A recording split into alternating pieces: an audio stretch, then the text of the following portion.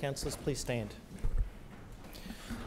Almighty God, we, the representatives of the citizens of the City of Brisbane, are assembled here today to strive and care for the welfare of our city and all its people. Lord, we ask that you guide us in the decisions we make here today. Amen. Brisbane City Council acknowledges this country and its tradi- traditional custodians. We acknowledge and respect the spiritual relationship between the traditional custodians and this country, which has inspired language, song, dance, law, and dreaming stories over many thousands of years.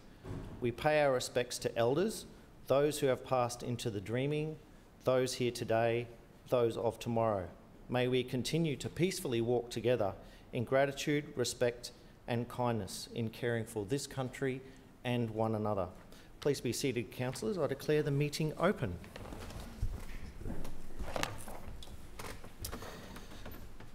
Councillor Hutton, do we have any apologies? Uh, Chair, I'd like to advise that Councillor Johnson will be absent today and I move that she be granted a leave of absence from the meeting. Seconded. Thank you. It has been moved by Councillor Hutton and seconded by Councillor Jenkinson that Councillor Johnson be granted a leave of absence for today's meeting. All those in favour say aye. Aye. Those against say no. The ayes have it. Apologies, Chair. I move that um, Councillor Marx will be absent today and I move that she be granted a leave of absence from this meeting. Noted. We will also Seconded. Thank you. It's been moved by Councillor Hutton and seconded by Councillor Jenkinson that Councillor Marx also be granted a leave of absence from today's meeting. All those in favour say aye. Aye. Those against say no. The ayes have it. Councillor Cassidy. Uh, thanks very much. I wish to advise Councillor Griffiths will be away for today's meeting and move that he be granted a leave of absence. Seconded. Thank you. It has moved, been moved by Councillor Cassidy and seconded by Councillor Collier that Councillor Griffiths be granted a leave of absence from today's meeting. All those in favour say aye. Aye. Those against say no. The ayes have it. Councillor Hutton, can I have confirmation of minutes, please? Sure, Chair. I move that the minutes of the 4,725th meeting held on Tuesday, the 31st of October 2023 be received, taken as read and confirmed. Seconded. It has been moved by Councillor Hutton and seconded by Councillor Jenkinson that the minute of the 4,725th meeting of Council held on the 31st of October 2023 be received, taken as read and confirmed. All those in favour say aye. Aye. Those against say no. The ayes have it. Councillors, we move into question time. Are there any questions of the Lord Mayor or Civic Cabinet Chair of any standing committee? Councillor Owen.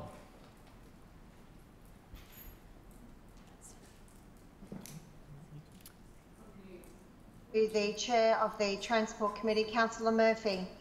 Councillor Murphy, Brisbane is the fastest growing capital city in the country and now is the time to be building better public transport and readying ourselves for more services.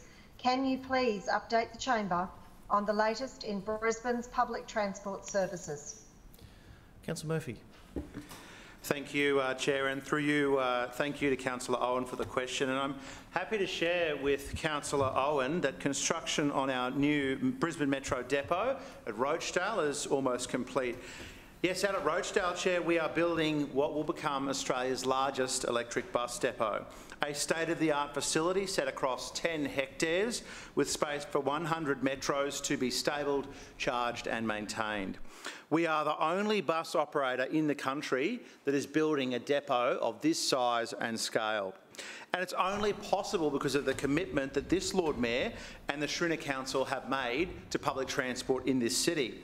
Compare and contrast this to the state government, who many years ago announced lofty targets for bus electrification, but to date, they haven't electrified a single depot. I have no doubt, Chair, that we will have conceptualised, designed, constructed and commissioned our Metro depot all before Minister Bailey makes any meaningful progress on zero emissions buses for Queensland residents. Chair, just like Without a Fight did in the Melbourne Cup just before, it is the Schrinner Council who will be crossing the finish line first. Now, while they are tinkering, we've been hard at work getting on with the job of transitioning our public transport to zero emissions with Brisbane Metro. I was out on site at Rochedale this morning with my good friend Councillor Huang, and I'm still struck by the massive scale of this endeavour every time I go. We've installed 500 tonnes of structural steel, 25 kilometres of in-ground cabling and 31,000 square metres of concrete pavement. Rochedale will be our first fully electric depot and our biggest, but it will also be our most sustainable depot. Over 2,000 solar panels will generate one megawatt of electricity to help power our metros and contribute to the site's five Green Star rating. Over the next few months, we'll be putting the finishing touches on the depot, and the timing couldn't be better, Chair, because the first production metros will be here by the end of the year. Rochedale won't only be home to our new fleet chair, it will also be home to a new generation of bus drivers. We have thousands of bus drivers employed with Council who deliver 10,000 trips every day, which is no mean feat. But we have to keep in mind, metros will run every five minutes during the peak and they'll run 24-7. So in the lead up to metro services commencing, we, we will need to continue to bolster our workforce in preparation. Now, that's no easy task, Chair, because we know in the last few years the public tra transport sector from around the world has faced significant challenges with bus driver recruitment and retention. Um, but at the first sign of bus driver shortages here in Brisbane, we launched a major campaign to employ new bus drivers. I'm pleased to advise the Chamber that we've now employed over 400 new drivers which have entered the training school this year, which is a massive uplift on our usual intake and we are expecting to hit 500 new bus drivers by the end of this year. And we're seeing the benefits, Chair. More bus drivers means more reliability in our network. Thanks to our recruitment drive, our service reliability is now topping out at 99.8%. Um, that makes us the second most reliable public transport offering in the entire country, only behind the Sydney Metro, which is autonomous, uh, Chair, so pretty highly reliable. So across all fronts, there is great cause for optimism in Brisbane at the moment, and uh, unfortunately, the only ones who aren't on board are the Labor opposition. Just in Transport Committee this morning, we heard uh, Councillor Cassidy suggests that he talks to bus drivers all the time and that morale in Transport for Brisbane is low. Well, we know that Councillor Cassidy does talk a lot to the paid RTBU officials and organisers, but he clearly hasn't been talking to bus drivers because I was talking to some bus drivers this morning at Rochedale and they could not be more excited to be part of the future decarbonisation of the city's transport network. They couldn't be more excited to be part of the journey that we are undertaking. That excitement is palpable and I got to say, morale has never been higher. And the proof is in the pudding because if morale was low, then why would bus drivers be flocking to us by the hundreds? So while Councillor Cassidy continues to shill for Labor's biggest and only donor, the RTBU, on that side of the chamber, under the leadership of the Lord Mayor, we will continue to transform public transport in this city for the better.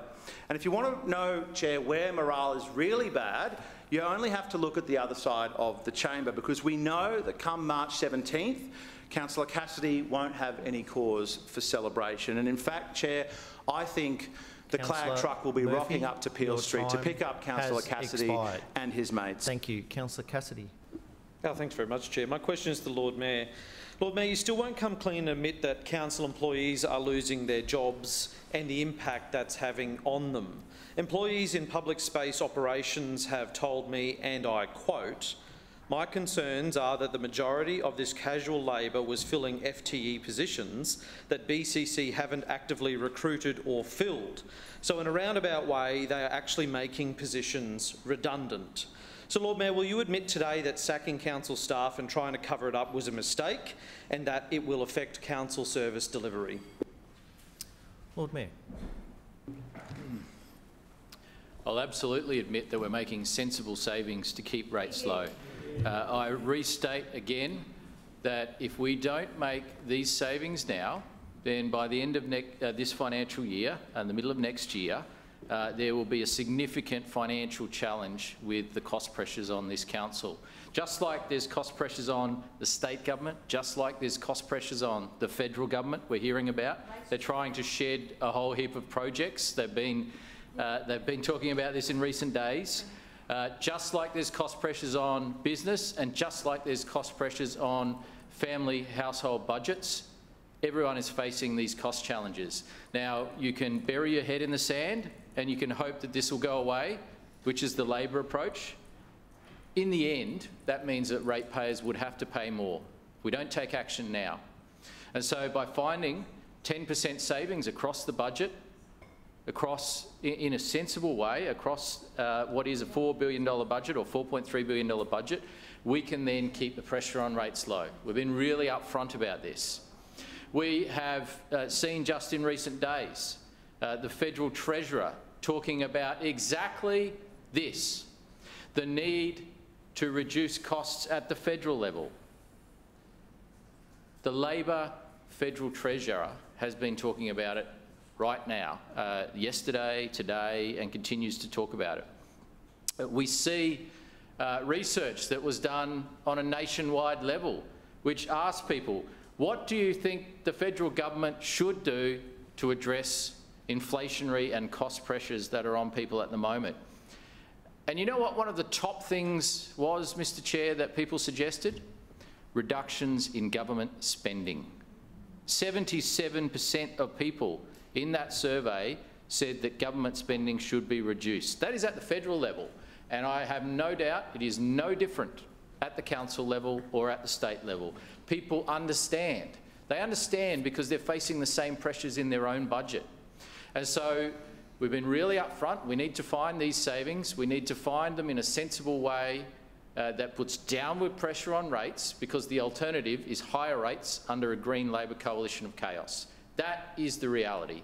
Now, uh, when it comes to the other alternatives, taxation increases or rates increases, we've seen the Green Labor Coalition of Chaos announce three new taxes in three weeks.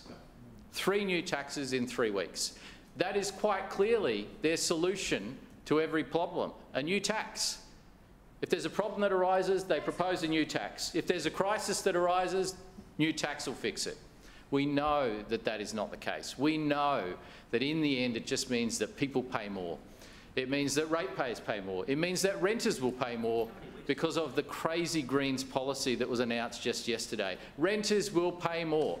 We know that under Labor and the Greens, renters will pay more, householders will pay more, ratepayers will pay more, and we're working really hard to make sure that that doesn't happen.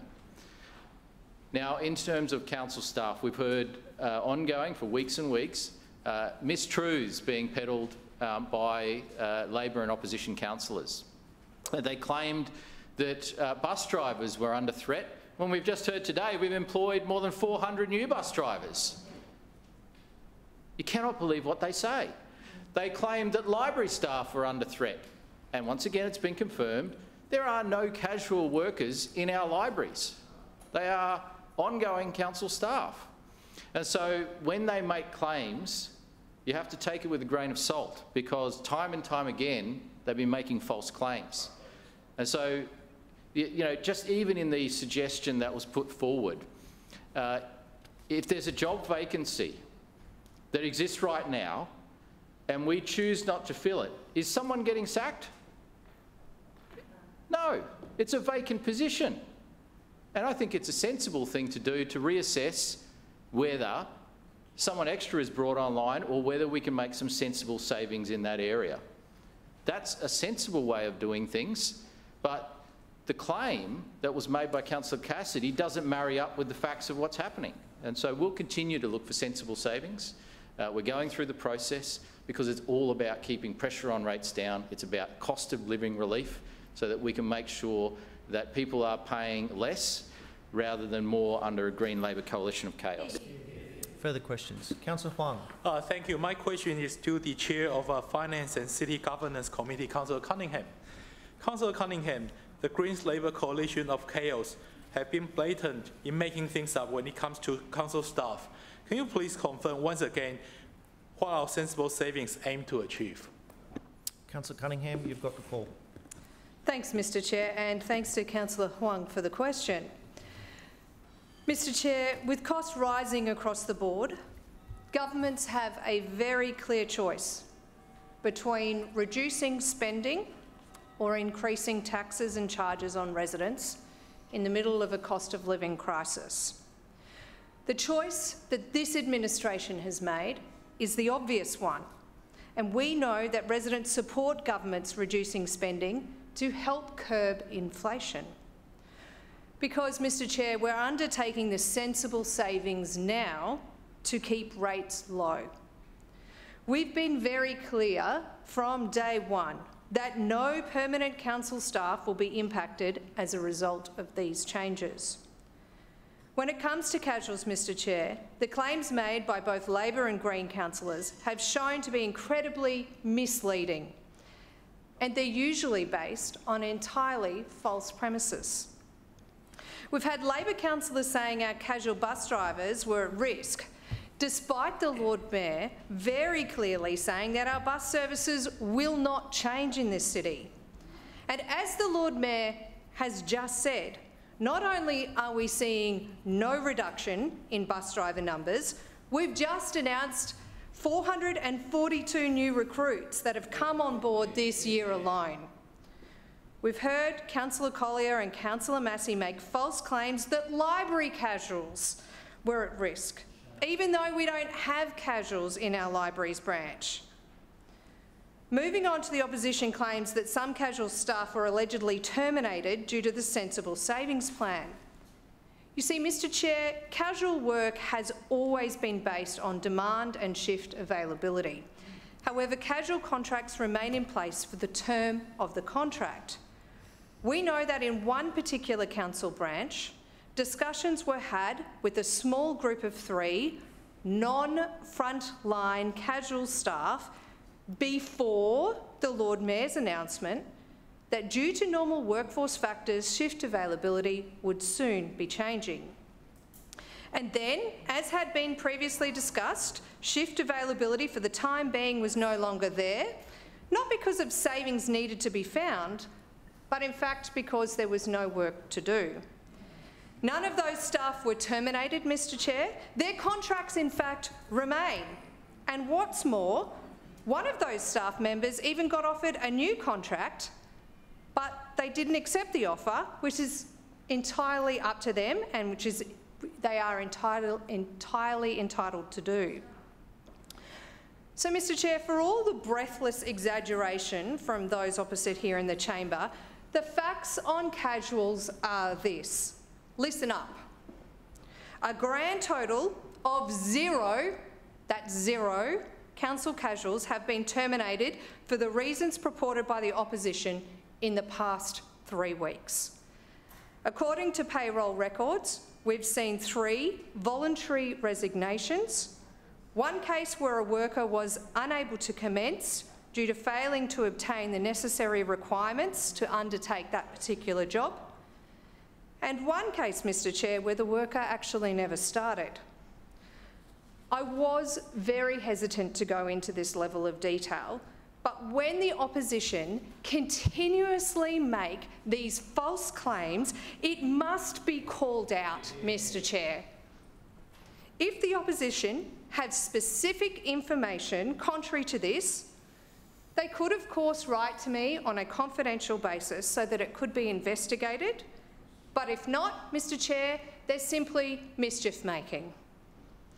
As for contractors, consultants and contingent staff, yes, these arrangements are being reviewed and discussed with the relevant parties, including our unions, Mr Chair. And it's entirely consistent with what governments do at all levels all of the time. In 2020, Cameron Dick announced his plan to save $750 million, which included, quote, reducing the use of consultancies and contractors by government with a view to ending arrangements where possible. In this year's Victorian budget, the Labor government announced that, quote, further savings will be achieved through reductions in labour hire and consultancy expenditure. This formed part of a $3.6 billion efficiencies plan, Mr Chair. While we look to find sensible savings to Councillor keep rates Cunningham, low, Your time has expired.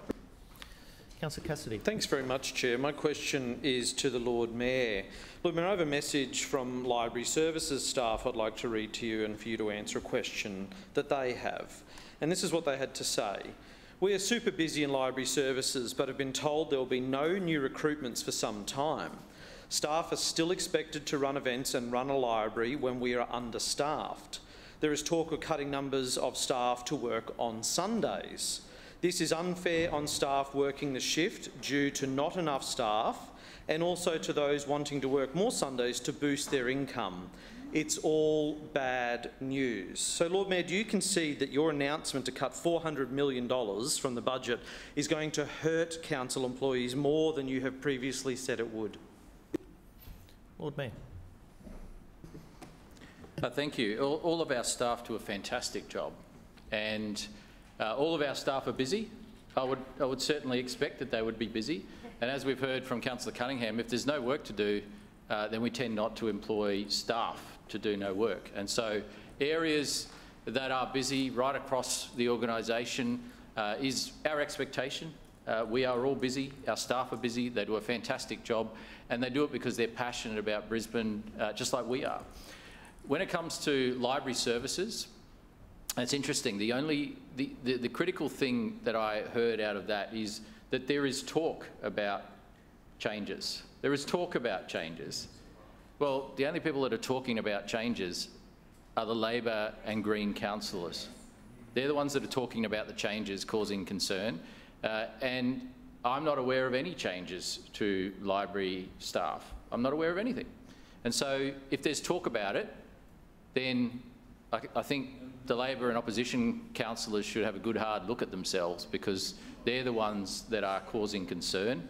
Uh, and they should be ashamed of themselves because they used to be the party that cared for workers, uh, and now we know, yeah, that's long since gone. That is long since gone. And so, there, if there's concern, then the Labor Party should stop fanning the flames uh, and they should actually uh, listen in question time when it's confirmed that uh, you know details about library staff have been, that they've asked questions about have been confirmed not to be the case. Details about bus drivers have been confirmed not to be the case. So really, the, you know, if the questions about there's talk, uh, well, the best way to calm that down is to stop spreading mistruths, Mr Chair. Further questions? Councillor Hutton. Thank you, Mr Chair. My question is to the Chair of Economic Development and the Brisbane 2032 Olympic and Paralympic Games Committee, Councillor Adams. Deputy Mayor, Brisbane's momentum as a city has once again made international headlines. Can you please update the chamber on the latest endorsement of our fantastic river city? Deputy Mayor, you've got the call. Thank you, Mr Chair, and thank you, Councillor Hutton. And we have known for many, many years in this place that Brisbane is absolutely the best place to live, work and play. But the rest of the world have finally opened their eyes and realising as well. For the first time, magazine's top 50 greatest places, now renowned travel publication, from its best places to visit for 2024. As I said, it's been fantastic um, for us, for people to finally realise and recognise that it's also about time that people realise we are a wonderful city to visit. And it's no accident, can I say, Brisbane is the fastest growing capital in the uh, capital city in the country, with people from all over Australia and around the world recognising that our city's incredible climate, lifestyle and livability is absolutely second to none. In the lead up to 2032, we will use the gift of the Games to introduce the world to the incredible capabilities and communities we have in Brisbane. And the exposure that comes with being a host city is absolutely priceless. Just to be mentioned in the same breath as Paris and LA, and until recently it was Tokyo, Paris, LA, Brisbane, um, it's elevated our city to a whole new level. When we're announced as the host city uh, in 2021, we know that the Google search on Brisbane went through the roof in the first 24 hours. And look, we'll admit it, that was the rest of the world going, where the heck is Brisbane? But that was the whole point. They may not know where we were then, but they are now, and they're having a look and they're realising, hey, it's a pretty sexy city to go and visit. I wouldn't mind going and see what's going on as well. And we know the more people that visit, they will know our name and they will invest here. And we're already going about it the right way. The last few months, it is clear that Brisbane is setting the pace in Australia and around the world. As I mentioned, it started with the Time magazines being named one of the world's top places to visit. And I might add, Brisbane was the only Australian city to make that list in the Time magazine. And that was seen by more than 20 million subscribers worldwide for Time. No doubt hearing about how wonderful we are. But as a destination, Brisbane offers the best of Australia. We're the most Australian city, Lord Mayor. I've heard you say it before. We have vibrant precincts across our cities and suburbs. We have world-class dining. We have diverse cultural experience. And of course, we have the breathtaking natural wonders of beaches to rainforests to deserts and everything in between. But perhaps most importantly, we know as local councillors that it's our friendly and welcoming residents that make us such an appealing place to live and visit. Brisbane is also ranked the top Australian city and 15th in the world of sporting cities not just because we're great at hosting sporting events, but it's our grassroots community level sports that we live and breathe in Brisbane as well. Our, our local sports clubs are the lifeblood of our communities, again, as every local councillor knows. We are the earliest rising city in the world and the morning buzz is full of people enjoying our renowned outdoor lifestyle. That does not mean we don't have a solid reason to get some daylight savings happening as well in our capital city. We have made headlines across the world for our dedication to sustainability, having recently been awarded gold level by the UN Habitat under the SDG Gold Cities Initiative. And just recently, we received the Global Award for Sustainable Development in Cities at the Shanghai Global Cities Conference. That's right, Brisbane is now recognised as one of the most sustainable cities in the world. We are the most small business friendly city in Australia, and you, I'm just saying the world because that makes us the most in the Southern Hemisphere. So contest me if it's not the world as well. And you only have to look at the calibre of the businesses that were recognised during the Lord Mayor's Business Awards to see that Brisbane's future is so bright in this space. We have overtaken Sydney as the top destination of choice for international small and medium enterprises to travel to Australia. It's called Bleisure. So Bleisure, travel. So when you're doing business and leisure, we are the top leisure capital in Australia as well. There is more to do than just having fun here. You can also do your business. We have a packed major events calendar FIFA Women's World Cup, of course, we had. We've got NRL Magic Round coming back. The Brisbane International coming back in, uh, in January. We just finished the Queensland PGA with a course record, and we welcome the Australian PGA at the end of this month as well. That is real economic dividends for our city. We're experiencing a resurgence in international visitors, and it's all been under the leadership of this council, with Lord Mayor Adrian Schrinner at the helm. Brisbane Deputy just Mayor, keeps getting better. Your time has expired. And the world agrees. Councillor Cassidy. Thanks very much, Chair. My question is to the Lord Mayor. Lord Mayor, you'd be aware that in PSO Green Space there are 78 casual labour hire staff, of which 30 have been let go since you announced your budget cuts. Uh, here's a message from one of the staff members in PSO Natural Environment. We were identified as being a highest threat of suicide and burnout in our work area and rapidly employed more staff to help with that workload. Now with removing casual staff, this will put us back to where we were. So Lord Mayor, why have you put your political narrative ahead of the well-being and safety of council employees? Lord Mayor. Well, that's an appalling and outrageous claim Absolutely. that's being made. Um, I reject it wholeheartedly. Uh, and uh, look, I mean, Ca Councillor Cassidy can produce all of the statements that he likes, uh, but in the end, we have to find sensible savings to keep rates down for residents. Um, and we've been very clear on how that's going to happen.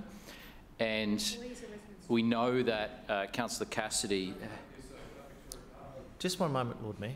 Councillor Cassidy, we're not going to call out across the chamber. We are to listen to questions and answers in silence. Lord Mayor. Uh, we know that Councillor Cassidy uh, is opposed to sensible savings, which means that he must be supportive of higher rates and taxes. Uh, and that is a shame. Look, in, in the end, that is his position. He's entitled to have that position. We have a different position. Further questions? Councillor Landers. My question is to the Chair of the Community Arts and Nighttime Economy Committee, Councillor Howard. Councillor Howard, this year's Valley Fiesta has now drawn to a close. Can you please update the Chamber on the success of this fiesta, including how it supports Brisbane's nighttime economy and artists? Councillor Howard. Well, thank you, Mr Chair, and through you I thank Councillor Landers for the question. The Schrinner Council's free and affordable events calendar is practically bursting at the seams this summer. Uh, Valley Fiesta is just one example of how the Schrinner Council is creating more to see and do for residents and visitors of Brisbane, and doing so in a way that makes it possible for everyone to enjoy what's on offer, no matter what their budget. Purse strings are tight at the moment, with the cost of living crunching down on households right across the nation. Uh, but the Schrinner Council is here to make sure that that doesn't stop you from enjoying the best of Brisbane's music scene. And that is why I was proud to join the team in opening Valley Fiesta on Friday at the King Street Food Fiesta with an all-ages event to kick off Brisbane's biggest annual party. It did try to rain on our parade, but we saw the rain off, and uh, I think for as long as I can remember, it's always done a little bit of uh, raining on Valley Fiesta, but it does not stop the party. The 26th annual Valley Fiesta was not only totally free, the Schrinner Council has also worked hard to make sure that it was accessible and inclusive for all, with Auslan interpreted performances to wheelchair accessible spaces so that everyone was able to experience the thrill of live music without barriers. So I'd like to pay a special thank you to Spinal Life Australia for working with us again this year to achieve this, and so too for all the other incredible work that Spinal Life Australia does on a day-to-day -day ba basis year-round.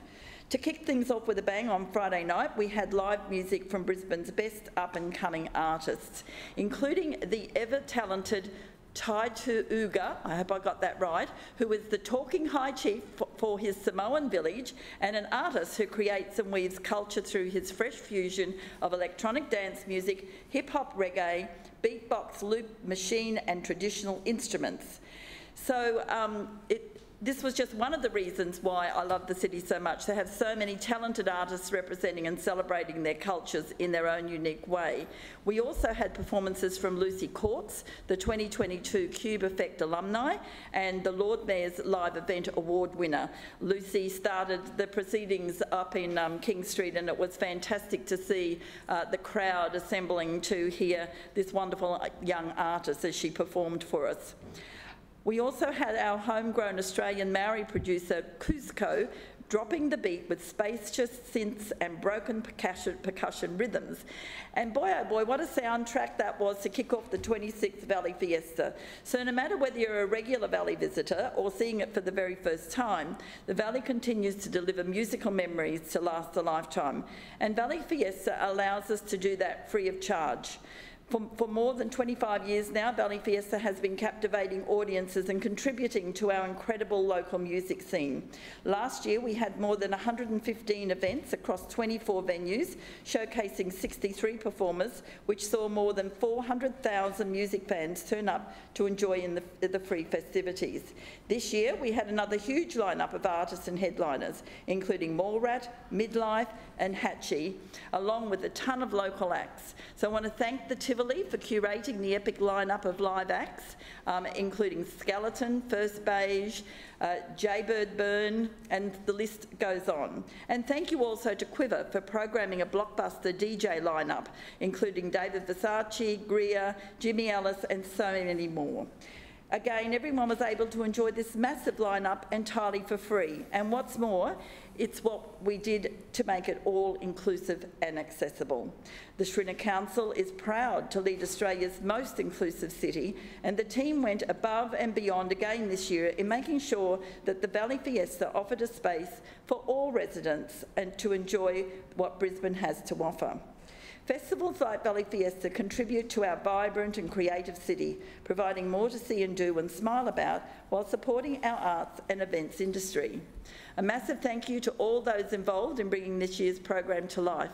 Valley Fiesta is just another event in our amazing city that makes it an even better place to live, and another reason why I'm extremely proud to be part of the Schrinner Council. Just one of the ways that we're achieving and making um, what's fun that, that, continues year round. We have events and festivities for all ages. So whether it's going to be from guided walks through decades old tree giants at Sherwood Arboretum to the bright lights and festive sounds of the Lord Mayor's Christmas carols, Valley Fiesta just fits into that social calendar that makes so much more to see and do right across Brisbane. So we've got loads on offer for families to keep everyone happy over the holidays, and we're also. Councillor Howard, I'm sorry your you. time has expired. Councillor Cassidy. Thanks very much, uh, Chair. My question is to the Lord Mayor. Lord Mayor, following your announcement of $400 million in cuts 21 days ago, staff and basic services have suffered. PPI have been asked to let go of any casuals and everyone that's on higher secondment are to move back to their substantive position. Uh, the message was that PPI staff also needed to reduce their service level across the city by stopping doing program maintenance and to undertake a triage response to maintenance. Isn't this more evidence that your decisions have affected basic service delivery in the suburbs of Brisbane? Lord Mayor. when uh, we made the announcement on the sensible savings and the 10% reduction across the uh, organisation, we made it really clear that permanent staff would not be impacted, but casual staff would be. It was very clear. And so I'm not sure why Councillor Cassidy is surprised about this. It, there should be no surprise. We were up front right from day one. Um, and so this is a measured way of doing it. And the nature of casual employment is that it is cyclical, uh, it, is, it is not a permanent ongoing arrangement. It is based on needs. And right now, uh, the needs and requirements of the organisation have changed because we need to focus on keeping rates down for the people of Brisbane. Uh, just like the needs of the federal government are changing when they're looking at shedding large infrastructure projects right across the nation. They need to find $33 billion worth of reductions, uh, according to the latest figures. And so I wonder if Councillor Cassidy will be railing against that uh, because I remember having some debates in this place uh, where we were ringing the alarm bells on this infrastructure review and they were saying nothing to see here. And now suddenly uh, their factional leader, um, the Treasurer, um, is throwing his toys out of the cot because what we've been saying for months has come true. Uh, but the reality is every level of government is under pressure. Every business is under pressure. Every household is under pressure. There's no magic pudding here. And the only magic pudding that Labor comes up with is taxing people more, charging people more rates. And we don't want to do that. We want to keep the pressure on rates low. And so I will keep repeating this while Councillor Cassidy keeps asking the same questions. Uh, the reality is, though, that we've seen, it's interesting, we, you know, I um, explained to my kids the story of the boy who cried wolf. And I remember, you know, for the four and a half years that I've been as Lord Mayor, every single week, Councillor Cassidy has made claims about reductions in council services and a lack of spending in the suburbs. Every single week. and, and... Councillor Collier he's been caught out time Councillor and time Cassidy. again misleading people. Just one moment, Lord Mayor. Councillor Cassidy, please refrain from calling out. Lord Mayor. And so he's undermined his own credibility so badly over the years by spreading so many mistruths. Uh, it is a real shame because in the end, we've been absolutely upfront here. It's the opposite to the Labor approach. They continue to spread mistruths, even today. They, they continue uh, to make false claims, just like they have been doing for years. Just like they have been doing for years. Uh, and if the residents of Brisbane want to know what will happen going forward, I can tell you 90% of what we normally do will still keep happening. But there will be a 10% reduction in spending. And as I said, we've been really upfront about it. Is this, is this a permanent thing? No, it's the right thing to do right now while everyone is under pressure. Uh, will there be changes in the future if situations improve? Absolutely. But that is what households have to do. That is what the other, other levels of government will have to do too. That is what businesses will have to do. And so uh, we are making the responsible and sensible changes now to make sure that we protect the ratepayers of Brisbane. Thank you, Lord Mayor. Further questions? Councillor Jenkinson. Mr Chair, my question is to the Chair of City Planning and Suburban Renewal Program, Councillor Allen. Councillor Allen, the Schrinner Council's Village Precinct project, projects is all about supporting small business and creating a city of neighbourhoods. Can you please update the chamber on the latest in this program of works? Councillor Allen, you've got the call. Uh, thank you, Mr Chair, and through you I thank Councillor Jenkinson for the question. We're investing more than $10 million over four years to revamp our iconic neighbourhood centres right across the suburbs through the village precinct projects. Earlier this year, we completed the 21st Village Precinct project with the completion of Lumley Street, Upper Mount Gravatt, and Sandgate Road, Boondall. We are unashamedly about making Brisbane suburbs even better, which is why 87% of the Council's budget is dedicated to building better infrastructure and delivering better services to our suburbs. We are committed to improving the suburbs that make our city so great, and the Village Precincts projects are part of this. From Coorparoo, Camp Hill and the Corso, to Paddington, Milton and Boondall, to the beautiful Bayside Village in Manly Harbour. We're breathing new life into these local hubs that have been part of the fabric of the Brisbane community for generations. And the timing could not have been better, with more people staying close to home, shopping locally and supporting small business. Businesses excited about the new opportunities these improvements have created, including more outdoor dining areas and places to stop and linger, a far more comfortable environment for all. It's a busy period at the moment with numerous projects underway and at different stages of completion. I'm delighted to inform the Chamber that Park Road Milton Village Precinct project has now completed. At that site, the Park Road street furniture was refreshed, including three new multi-bike racks and the removal of the ageing wayfinding signage. We are also creating a streetscape plaza at the corner of Park Road and Gordon Street to encourage visitors to Adam Smiddy Park. These works include floating precast coloured concrete platforms with integrated LED lighting, new pavement to the street corner of the plaza, new water drinking fountains and a new shade, a new shade trees, garden beds and landscaping. And I understand Councillor Jenkinson also hosted an event recently to celebrate the improvements. It's a credit to the local council as the event was well attended with residents enjoying free live theatre, live music urban sketching, face painting and games in the park. So well done, Councillor Jenkinson. I also heard that the Mater Smiling for Smiddy riders cycled the River Loop before joining the event to remember and celebrate Adam Smiddy.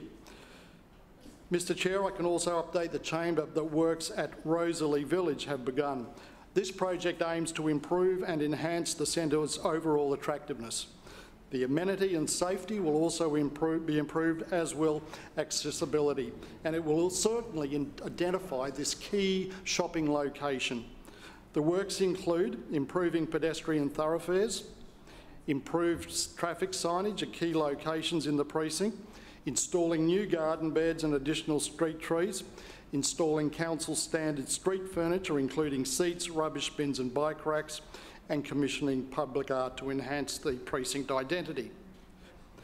It's all about making these areas more inviting for local businesses to set up shop or to give a boost to those existing businesses and in turn making it more appealing for residents to visit their local area and buy local. Each project is different with their own quirks and character and that's the whole point. These areas offer a different experience to visiting the major shopping centres or online as popular as these have become in recent years. They are a place to connect with community and support local businesses. Our village precinct projects are much more than just a facelift. They're all about kickstarting the local economy and creating a city of vibrant neighbourhoods with livable places for locals and visitors alike. Mr Chair, this is just one of the ways the Schrinner Council is making Brisbane an even better place to live, work and relax. Thank you. And that ends question time.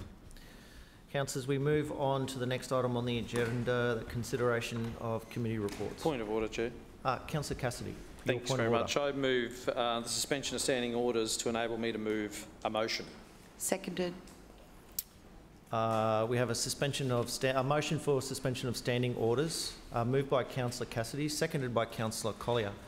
Councillor Cassidy, three minutes uh, to the reasons why it was sub- not submitted before one o'clock yesterday. Thank you. Um, thanks very much, Chair. And the motion, uh, of which if um, standing orders are suspended, I'd like to move, is that the Lord Mayor apologise to staff for increasing stress and workload and eroding Council's zero harm policies through his political decisions and reverse all job cuts. Uh, this morning I received messages from staff including the following. Anyone without a permanent position is likely to lose it. Current staff are burnt out from covering shifts and it looks like positions will not be filled. Another one I received today, PSO Natural Environment was identified as being a high threat of suicide and burnout, something the Lord Mayor just order, dismissed Chair. in question just, time. Just one More- moment, Councillor Cassidy. Councillor Murphy, just give me one second. Um, Councillor Cassidy, this was to the reasons why you or a member of your team could not submit the motion before one o'clock. Deputy Mayor, please. Before one o'clock yesterday. Now, just before you carry on, Councillor Murphy, you were rising on a point of order.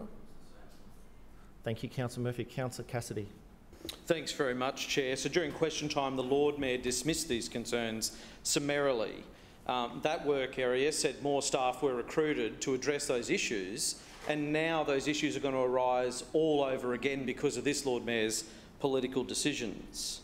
Uh, we've heard as well uh, in question time, and I heard today, that 30 casual um, uh, positions in PSO green space have been let go.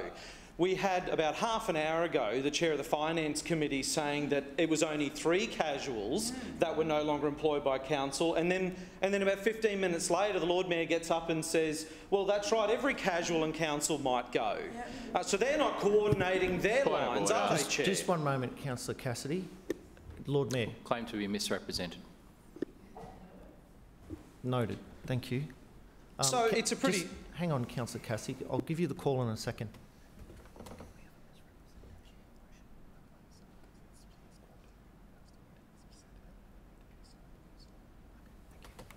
Councillor Cassidy. Thanks very much, Chair. So the Lord Mayor's political decisions are eroding service delivery and they are harming council workers. And I suppose the question is, does the LNP even care anymore? Thank you, Councillor Cassidy. Point Lord of order, Chair. Just one moment, please. Um, you, can you turn your mic off and resume your seat, please, Councillor Whitney? Lord Mayor, your misrepresentation. Uh, Councillor Cassidy uh, suggested that I'd said every single casual, casual staff member would go. I did not say such a thing. Noted. Thank you. Councillor Whitney, your point of order? No? Okay. We will now put the motion.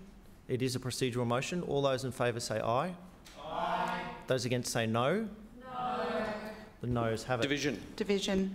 Division called by Councillor Cassidy and Councillor Collier. Eyes to my right, noes to my left. Clerks, please ring the bells.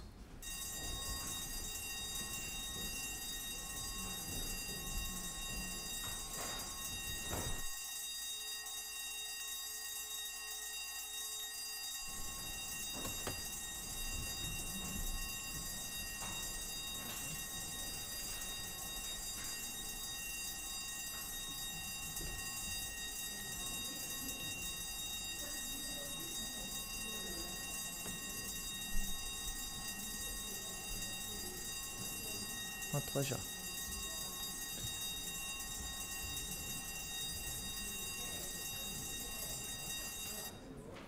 Clerk, councillors, bit of quiet please during division. Clerks, please read the results. Mr Chair, the noes have it, the voting being five in favour and eight- 18 against. The procedural motion has not passed. Councillors, please resume your seats.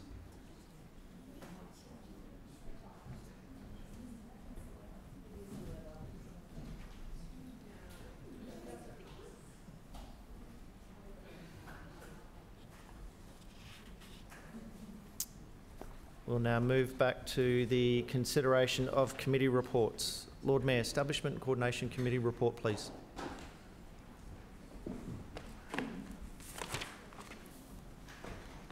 Mr Chair, I move the report of the Establishment and Coordination Committee meeting held on Monday 30th of October 2023 be adopted. Seconded. It has been moved by the Lord Mayor and seconded by Councillor Hutton that the report of the Establishment and Coordination Committee meeting held on Monday, the 30th of October 2023 be adopted. Lord Mayor, you've got the call.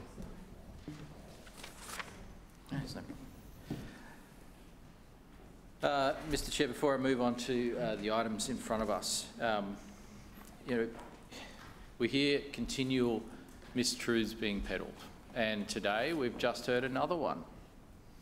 Uh, the claim was made by Councillor Cassidy that uh, there were around 30 casual council workers that were let go. And what in fact... Just one moment, Lord Mayor. Yep. Councillor Strunk, no calling out across the chamber. It was clearly heard from up here. Thank you. There's no calling out across the chamber. Lord Mayor. Uh, thank you, Mr Chair. Uh, what in fact has happened is that there were 29 agency staff who were told that we no longer require them to do work for council. They're not council employees, they're not council casuals. They in fact were employed by an agency and the nature of that agency work, as Councillor Cassidy should well know, is that we get them to supplement our workforce on a cyclical basis. There's no guarantee of ongoing work for council. Uh, there are periods where we require agency staff and then there are periods where we don't. And they've been advised that there's no work at this point in time. They are not council staff. They are not council casuals. They are in fact agency staff. And this is where I go back to the boy who cried wolf uh, analogy, because you know, look, if, if Councillor Cassidy wants to oppose sensible savings, he can do so. That is his right. But stick to the facts. Stick to the facts. That's fine. If you Point want of order. to. Point of order, Chair. Point of order, Councillor Murphy. Uh, will the Lord Mayor take a question? Lord Mayor, are you happy to take a question from Well, I'm not sure if I will. Um, yeah, of course, of course, Councillor Murphy. Councillor Murphy, please continue. Uh, thanks, Chair. Lord, Lord Mayor, has Councillor Cassidy not also in this chamber, in this term, opposed the employment of agency staff doing council work? Lord Mayor. You have a really good memory, uh, Councillor Murphy. In fact, um, he has. He's been on the record time and time again uh, in opposing the use of agency staff. And when we stop using agency staff in this case, he's against that too. And that's what I was saying. Like, stick to the facts. Like, you know, we can have the debate, by all means. You can argue for higher taxes and rates. We'll argue for lower spending. Let's have the debate, but stick to the facts. Stop spreading mistruths. Stop uh, concerning uh, council workers unnecessarily. Let, let's, ha let's have an upfront debate about the pros and cons of both approaches. You can try and justify higher rates. We know that Labor's record was... Councillor Cassidy. Just was- one moment, Lord Mayor. Councillor Cassidy, it's three times now I've called you out for not remaining quiet. It is a chamber of robust debate, but you are not debating, you are heckling from the sideline. Lord Mayor, you've got the call. Just one moment, Lord Mayor. Councillor Hammond. Councillor Cassidy, I consider that you are displaying unsuitable meeting conduct in accordance with section 21.4 of the Meetings Local Law 2001. I hereby request that you refrain from speaking loudly across the chamber unless you have the call. Lord Mayor, you've got the call. Uh, thank you, uh, Mr Chair. Uh, look, Councillor Cassidy Or whispering. Councillor Cassidy, out loudly. You've got the call, Lord Mayor. Uh, Councillor Cassidy is welcome to explain why higher rates would be a better option than reducing spending. He is welcome to make that case. Uh, and certainly because of their record in this place, and I know they, they selectively like to talk about Jim Soorley, uh, they, they see him as some kind of hero figure, um, but they don't mention. Just they one don't moment, mention, Lord Mayor. Just one moment, please. Councillor Collier, Councillor Whitney. We're not calling out across the chamber.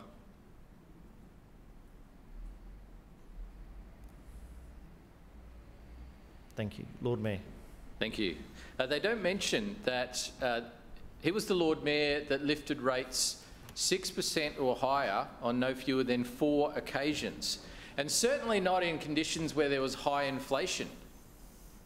In fact, at the time, there was very low inflation in comparison to what, what it is today, yet there were four occasions, four budgets where the rate increase was 6% or higher. That's their hero. That's their mentor. That's who they look up to. And so, look, I, am happy to have that debate. Uh, you can you can justify higher rates for people if if you know if you want to explain why the people of Brisbane should vote for a Labor Party that delivers higher rates, you do that. Uh, but we will support sensible savings and spending reductions to keep the pressure on rates down. And it's how we're able to deliver for two budgets in a row a rate increase of less than inflation, a rate increase of less than inflation, uh, and also prior to that, the first rate freeze in 35 years. And so our record is clear. We try absolutely every year to keep rates as low as possible. We also, at the same time, tried to build as much as possible as well. And even in these challenging times, we're still delivering more infrastructure uh, in three years than Labor would deliver in a decade.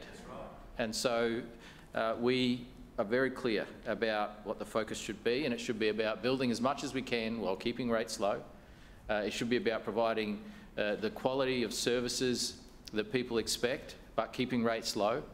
Uh, and that's what we'll continue to focus on. In front of us, uh, sorry, uh, going to the usual lighting up of assets that I uh, update people on. Uh, last night, the Story Bridge, Victoria Bridge, City Hall and Reddacliff Place were lit up in orange to support Colour the World Orange Day. Uh, this day focuses on complex regional pain syndrome, which is a uh, prolonged pain that can occur following surgery, trauma, stroke or heart attack. Tonight, the Story Bridge, Victoria Bridge and Reddacliff Place will be lit up in green to, su to support Lung Cancer Awareness Month uh, runs in November every year, and obviously we're, ke we're uh, keen once again to support this uh, awareness initiative. On Thursday night, the Story Bridge will be lit up in purple for the Queensland Brain Institute's 20th anniversary. Uh, brain disorders account for over 20% of the burden of disease in Australia, and the Institute does amazing work every day uh, at the University of Queensland to help solve and find new solutions and cures for brain-related diseases. Uh, also tonight, our assets will be lit up in purple for the Lord Mayor's Charitable Trust annual Christmas appeal. And um, this is something that both myself and Nina and the trustees of the Charitable Trust, including Councillor Adam Allen, are very passionate about and uh, something where we know the need uh, continues to grow in the community with cost of living pressures and housing pressures. And so uh, this year's Christmas appeal will be just as important, if not more important, than any year that we've faced. And so we thank the residents who already give generously through their rates. Uh, we thank the donors who support the trust in other ways, and, uh, and there are many of them. Uh, we thank uh, those philanthropists who also donate to the trust, and um, we also are keen to let the wider community know about uh, the great work that the Trust is doing in supporting the frontline charities and distributing uh, significant grants each and every year, and we want to do that again in the lead up to Christmas.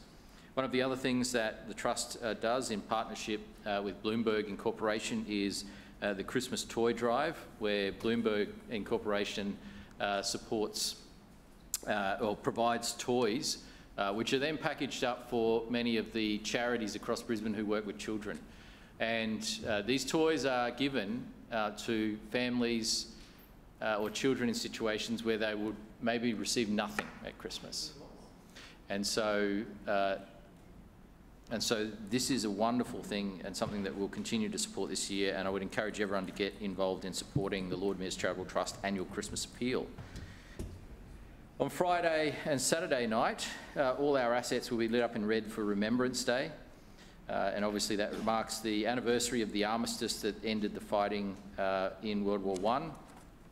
It's a highly important day in our national calendar, uh, not only in Australia but in other parts of the world as well, and we'll be commemorating Remembrance Day together. On Sunday night, our assets will be lit up in orange again, this time to support cervical cancer awareness.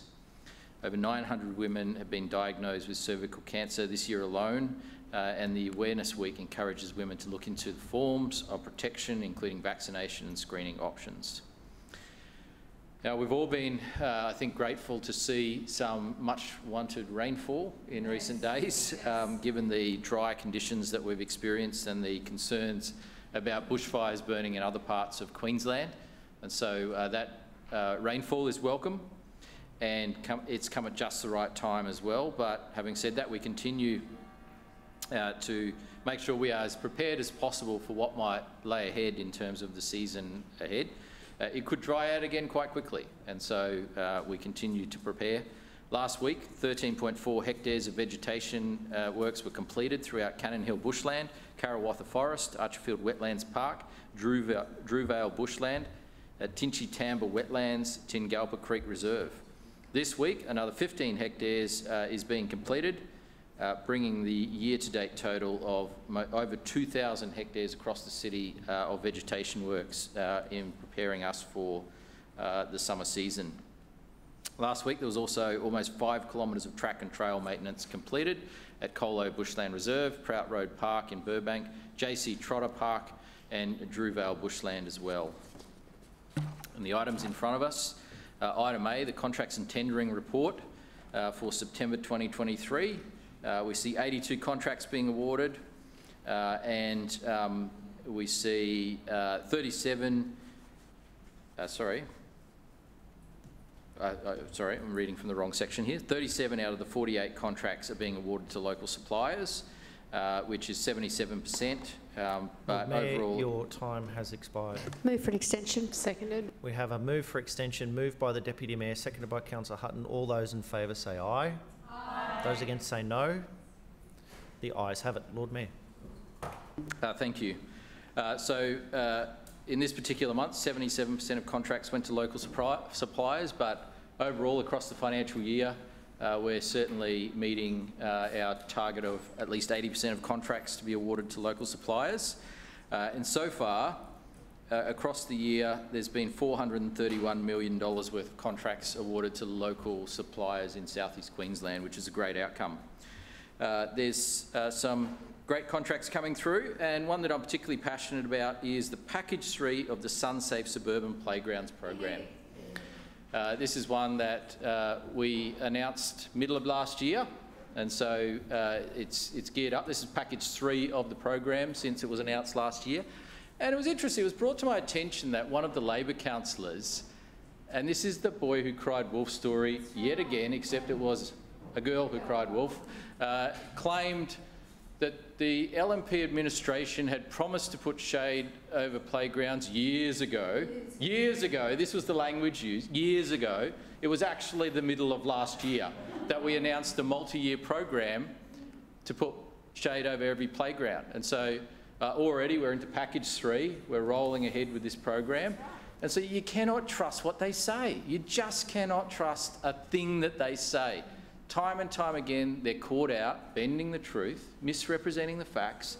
So years ago, should have read last year, middle of last year, uh, we started a program to put shade over every playground. And it was a multi-year program, uh, which we announced at the time. And so we'll continue rolling out shade sails. Uh, the um, uh, the uh, playgrounds right across the city in every ward are being covered and so uh, look forward to seeing this program continue. It's a great one, uh, and it's one I think the people of Brisbane appreciate and support too. Uh, we are, sadly, in Queensland, um, the skin cancer capital of the world. And uh, so, you know, playgrounds are, are, places that kids spend a lot of time. And, um, you know, this is a, an important thing at that stage in their life in particular, because getting sunburnt early in life um, can have lifelong ramifications. And so playgrounds are a great place to make sure uh, we have protection. Um, and uh, obviously we're doing our part in that space. Uh, also, as part of these contracts, the installation of high voltage Brisbane Metro end of trip charging facilities uh, and the installation of these charging ports at the Metro depot is well underway. And the contract also includes uh, charging locations at uh, Ernie's Roundabout in Herston, uh, which is down near the Royal Brisbane um, uh, Women's Hospital, Countess Street in Petrie Terrace, Sir William McGregor Drive in Dutton Park, uh, which is across the bridge from UQ. Uh, and um, those facilities um, are part of this contract. Councillor Murphy was obviously discussing those facilities earlier. Um, incredible technology being used here. Uh, to be able to charge a, a vehicle the size of a Brisbane Metro vehicle in six minutes with a flash charge, you can imagine the amount of energy that goes into that and the technology required. Um, and, and so there's a combination of fast flash charging, six minute charges that allows the vehicles then to get back on the road and then overnight charging at the depot as well um, and slow charging at the depot. So a great, um, a great series of contracts which show that we are, as Councillor Murphy said, leading the way when it comes to electrification in Australia. There is nothing else like this anywhere in Australia. No one is advanced when it comes to uh, building a fully electric depot for up to 100 vehicles down the track. Uh, this, this is an Australia first, it's the largest project of its kind and it's something we should all be proud of. Uh, item B is the lease of council land to community organisations, It's seeking council approval to progress with le lease negotiations with a number of community organisations.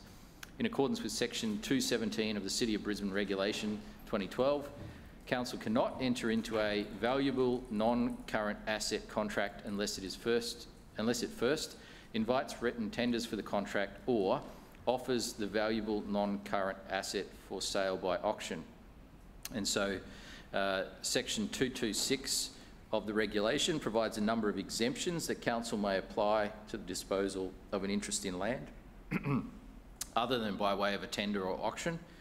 Uh, and obviously these are um, community organisation leases that we're talking about, where in most cases the, this is an organisation that has a current lease, and we're talking about a lease renewal or a lease extension, and um, the, uh, the intent here is to have this approval so that we can enter into those lease arrangements and negotiations and finalise the lease for these organisations. So there's 42 organisations operating from council space uh, that we uh, want to seek approval for today to uh, sort those leases out. And once again, I hope uh, we get the support of councillors in this chamber.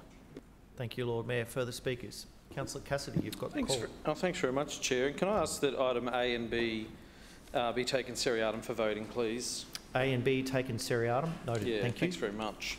Um, so, uh, first of all, on the um, contracts and tendering report for um, September, we're of course at day 21 of this um, LNP Mayor's um, savage cuts. $1.6 million a day that is being cut from suburban projects and services, and that'll add up to $400 million in staff cuts, project cuts, and cuts to um, services in the suburbs of Brisbane as we are finally starting to uncover uh, through question time today, the Lord Mayor is finally admitting that he is okay with shedding uh, agency staff, temporary staff that are doing ongoing council work.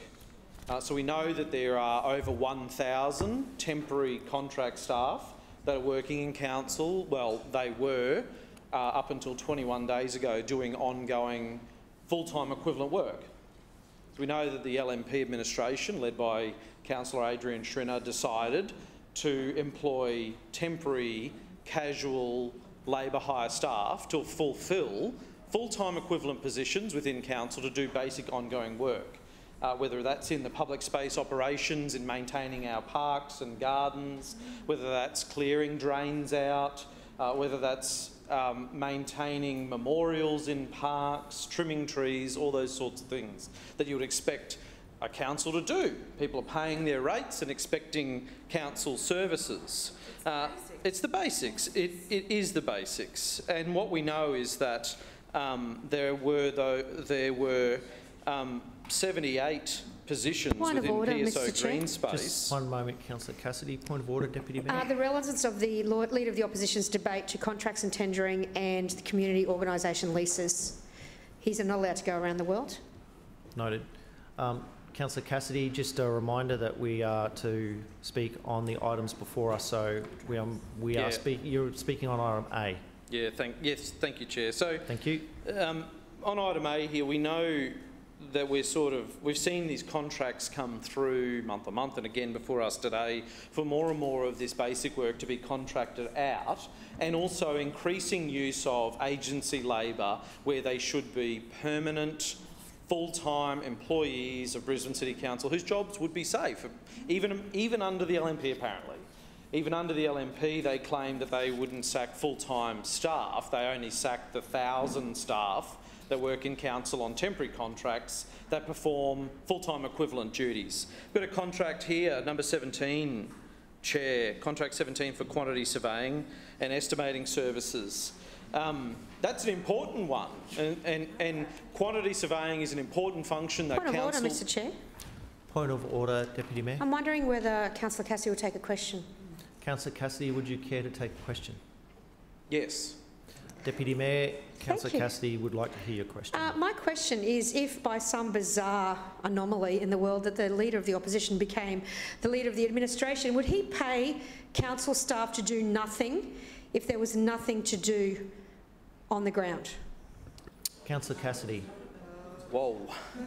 I, I, I'll take, yeah, thank you very much. In answering that question, I will just, I need to just absorb the fact that the Deputy Mayor of Brisbane thinks that there's a whole bunch of council staff sitting around there doing nothing at the moment. Point of That's order, Mr Chair. Point of order, Deputy Mayor. Claim to be misrepresented. Oh, there you. I'll clarify the question. He said that on Hang a on, hang on, contract... stop. Councillor Goodness me. Cassidy, no. Councillor Collier, definitely not. What about the Deputy Mayor? I'm getting around to that. Oh, okay. And Councillor Whitby, no. No speaking until you've been given the call, Deputy Mayor. On No, your, it was, it was a misrepresentation. thank you. Councillor Cassidy, you've got the call. Thanks very much, Chair. So the position of the LNP now, uh, and this is on record, is that um, they believe that there's not enough work for the council workforce to perform. We Point know order, that the Mr. Chair. list... Just one moment, Councillor Cassidy. Point of order, Deputy Mayor. Claim to be misrepresented. Noted. Thank you. Councillor Cassidy, you've got the Well, call. look, I'll pose a question, and the Deputy Mayor can answer this when um, she gets up to enter the debate on contracts and tendering. Um, what area of council do you think there are surplus staff at the moment? Oh, I understand. I understand if the LNP cut back on services. If they stop doing maintenance, if they stop clearing drains, they stop doing upgrades, they stop doing park work, they stop resurfacing road, all those sorts of stuff. If the LNP stop projects, I, I understand that there will be less need for staff, but therein lies the problem. That's what this LNP administration is doing. They are cutting services, Point of they order, are Mr. Chair. cutting projects. Just one moment, Councillor Cassidy. Point of order, Deputy Mayor. Councillor Cassidy's debate has nothing to do with the two items before us in this report.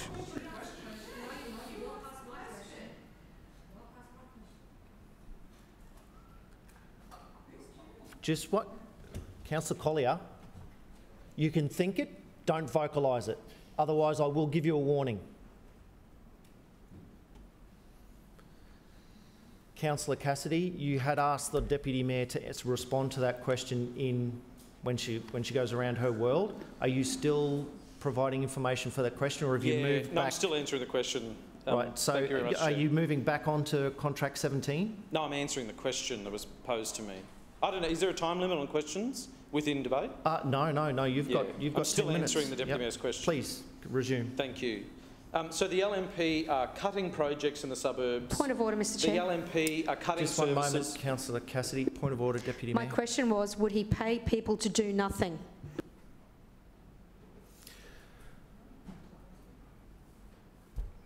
Councillor Cassidy can accept, Ca- councillor Cassidy can either answer the question or not. We are not actually in question time. Uh, Councillor Cassidy. Thank you very much, Chair. In answering the Deputy Mayor's question, the LNP's position is to cut projects, is to cut council services, and is to sack staff. We know that Point they are order, sacking Chair. agency Just staff, one and we know they're just- sacking council Just staff. one moment, councillor Cassidy. Dep- point of order, Deputy Mayor. Claim to be misrepresented for a third time. Noted. Thank you. Councillor Cassidy, you've got the call. Thank you. So by the Chair of the Finance Committee's admission that they are, they are sacking um. Point of council order, Mr Chair. employees Just one by... moment, councillor sorry, Cassidy. Point of order, Deputy I Deputy think Mayor. it's an act of disorder to not follow your instruction to go back to the report. I did not ask about sackings, He has finished answering my question. I ask that you bring him back to the report. Noted. Thank, thank you. Councillor Cassidy, I will draw you back to the report. I believe, uh, point of order, Chair. Point of order, Councillor Um, Cassidy. I believe the Deputy Mayor's um, continual interjections and points of order, of which you haven't upheld, is an act of disorder and ask for your ruling on that. Uh, Thank you, Councillor Cassidy. The Deputy Mayor has actually made three points of misrepresentation that I'm assuming that, sh- that she will address once you finish speaking. Please continue, you've got the call. Uh, there was a lot more than that, and the record will show. Uh, so, so contract 17 um, for quantity surveying and estimating services. This is a really important thing that this LNP administration can't do um, uh, because they don't employ quantity surveyors within council. They've hollowed out council's engineering ability um, across, across the organisation to be able to manage projects. And we've seen some devastating effects of that. We think back to the $100 million blowout in Kingsford Smith Drive because that work wasn't done ahead of the contracts being issued, and an entire company went broke and had to go into liquidation because this administration couldn't manage a project. Maybe if the Victoria Park project had proper quantity surveying done, we wouldn't have seen the blowout from $83 million to $141 million. And perhaps if this LNP administration employed some quantity surveyors, uh, they would have been able to keep the Metro project at 944 million as promised, rather than that blowing out to $1.7 billion. The list goes on and on and on. But instead of employing people directly to do this work, and to the Deputy Mayor's point earlier, there is work that needs to be done, but instead of employing people to do it, they put them on short-term contracts, and uh, contract 17 before us today is an example of that one as well.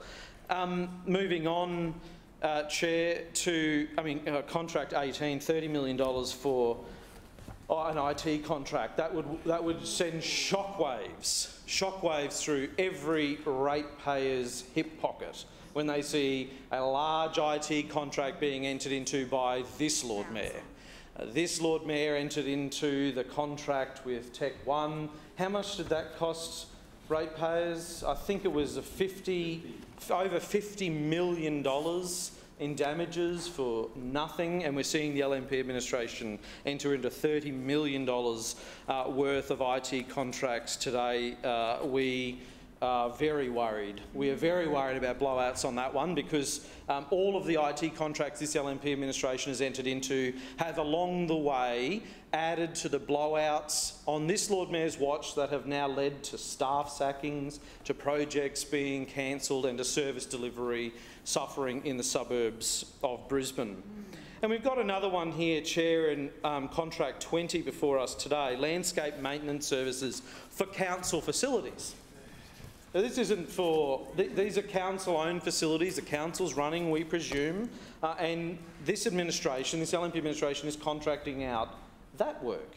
So at the same time, the Lord Mayor is saying to all of the divisions within council, you have to stop using contractors to provide work, he's entering into a $5.5 million contract uh, in the schedule of rates to landscape at council-owned facilities. So obviously this work has been planned out.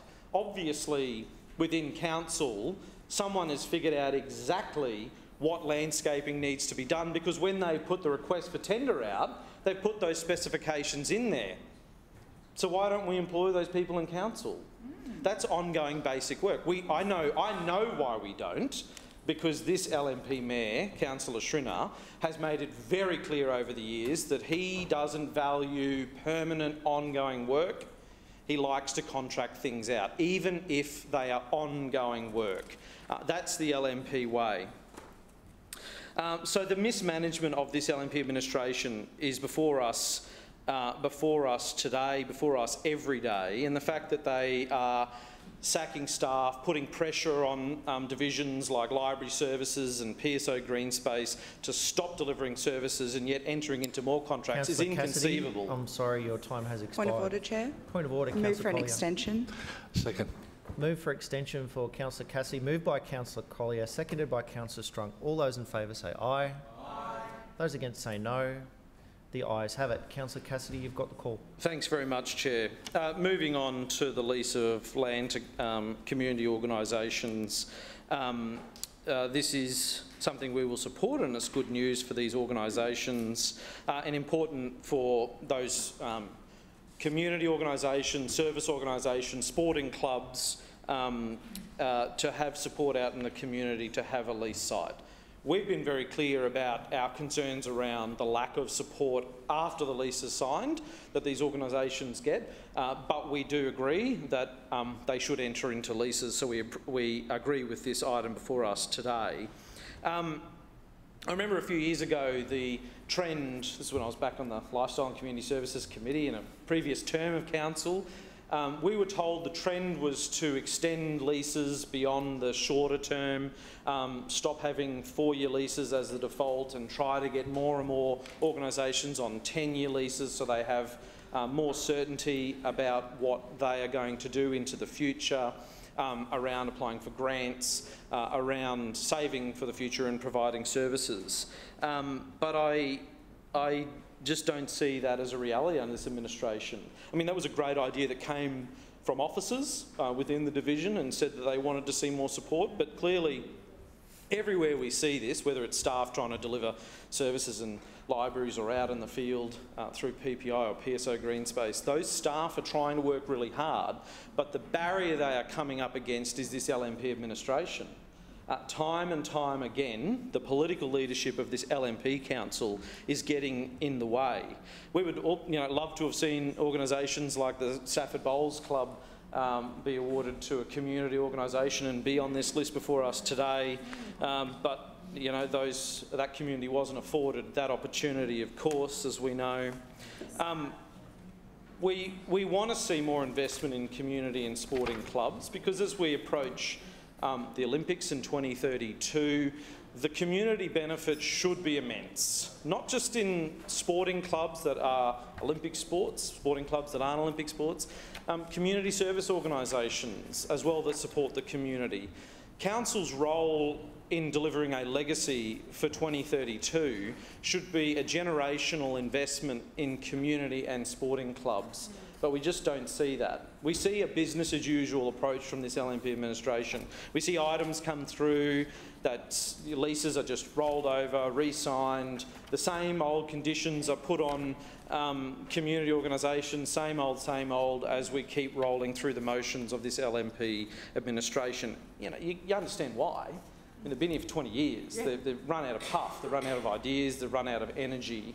Um, uh, and Councillor Cassidy, can I draw you back to item B, please? Uh, leases to community organisations. Yeah, Correct. thank you very much, um, Chair. So we know that the support for community organisations at lease off council leaves a lot to be desired.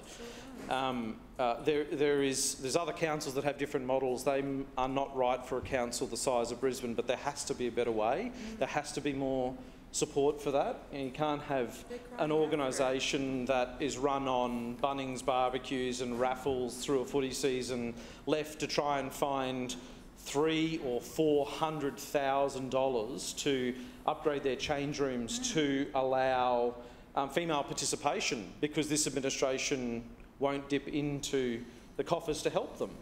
I mean, they at the same time they look at a council budget that allocates $141 million to the Victoria Park project, but that footy club cannot scrape together enough money to retrofit a 50-year-old building that's owned by council for female change facilities.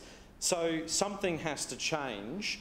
While the LNP are in charge, nothing will change. Uh, come March next year, there is change coming right around Brisbane. Uh, and there is a choice for people to make, and the business as usual approach we see from this LNP administration, I think, will be tossed out. Thank you, Councillor Cassidy. Deputy Chair. Mayor, your three points of misrepresentation, please. Sorry, firstly, no, I do not think staff are sitting around doing nothing. Secondly, no, it is not that there is not enough work, but that if there is a contract and the contract for the project is completed, contract workers are released. And thirdly, we are not sacking staff. Thank you, Deputy Mayor. Are there further speakers? Councillor Adermann. Yeah, thank you, Chair. I rise to speak briefly in support of item B, where Council is proposing to renew existing leases on land used by community groups for sport, recreation and cultural purposes. Three of the organisations that will benefit from today's decision are in my ward. And I'd like to touch briefly on each of them and commend the great work that they're doing locally. They are the Moggill Junior Australian Football Club, the Royal Queensland Lawn Tennis Association and the Scout Association of Queensland. Both the Moggill Junior Football Club, better known as the Mustangs, and the Lawn Tennis Association are based at the Moggill District Sports Park. The decision by the Quirk Liberal administration, with very strong advocacy by the former Pullenvale Ward Councillor Margaret de Wit to invest in the development of the Moggill District Sports Park, showed wonderful foresight at the time, and this facility continues to be a great asset in the Moggill and Bellbowrie communities. Excuse me. Chair, I want to single out the Moggill Mustangs president, um, Matt Kiker, whose family moved from Victoria to the Moggill area a couple of years ago and immediately became involved in the club. like many ex expat Victorians, Matt is passionate about, the, about Australian football and is actively promoting children to play the great game. And to pardon the pun, he's kicking some serious goals. Last year, there were 53 participants in Community Auskick.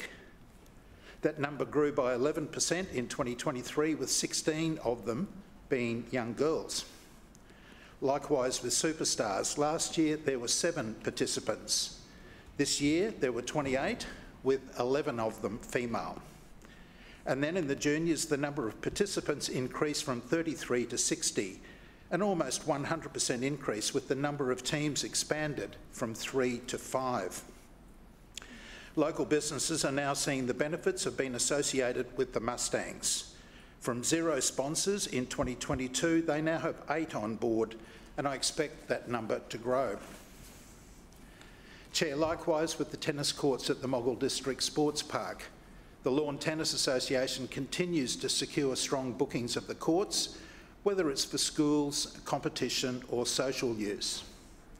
Extending that lease will provide continuity, but more important, it is ensuring that large numbers of local residents are playing tennis as part of an active and healthy lifestyle. And finally, the Corona Downs Scout Group, located at Coopy Park, Tendera Way. The scouting movement in Australia began in 1908 and has a proud history of teaching young boys and these days girls a range of skills and disciplines that continue to serve them well through life.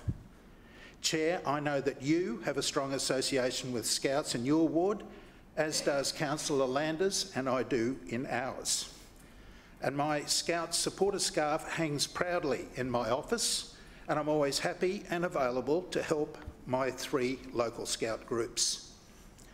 I was both a Cub and Scout in my youth and when I see the Scouts of today are able to do, I wish I had paid more attention. that said, anything we can do to support what is now the world's largest youth organisation can only be a good thing and I support this recommendation before us today. Thank you, Councillor Adam. And further speakers? Councillor Atwood. Thank you, Chair. I also rise to speak about item B and in particular the support for my local community groups, the Tingalpa Model Aero Club and the Balmoral Cycling Club. Um, both of these clubs are well organised and an absolute dream to work with. The Balmoral Cycling Club were instrumental in helping Council to design the Brisbane International Cycle Park, at the Murarrie Recreation Reserve. The new facility will be a huge benefit in helping our up-and-coming cyclists and BMX riders in the 2032 Olympics. The club and community are so excited for this facility to open and I can't wait to open it with the Lord Mayor and the committee next year. I also wanted to offer my support to the Tingalpa Model Aero Club for their lease. They are the only aero club in Brisbane and they have a very strong community spirit and they do so much more than flying planes. They absolutely love to go on camping trips, social trips at the club as well, and they host a large number of other aero clubs um, at there to share their experiences, and they have a great time. I love visiting them. But over the last four years, I've worked extensively with both clubs to put on events in the Doboy ward. We've always held them at the Murarrie Recreation Reserve, and we recently had to move them, because of the upgrades, to the Minnippi Parklands, and we worked with the Tingalpa Model Aero Club this year, and they were a dream to work with. So I think we found ourselves a new home, um, but I'm really grateful that both of these clubs have an enormous community spirit. They're really, really well run and a dream to work with, and I recommend this to the Chamber also. Thank you. Thank you, Councillor Atwood. Are there any further speakers? Be no one rising. Lord Mayor, right a reply?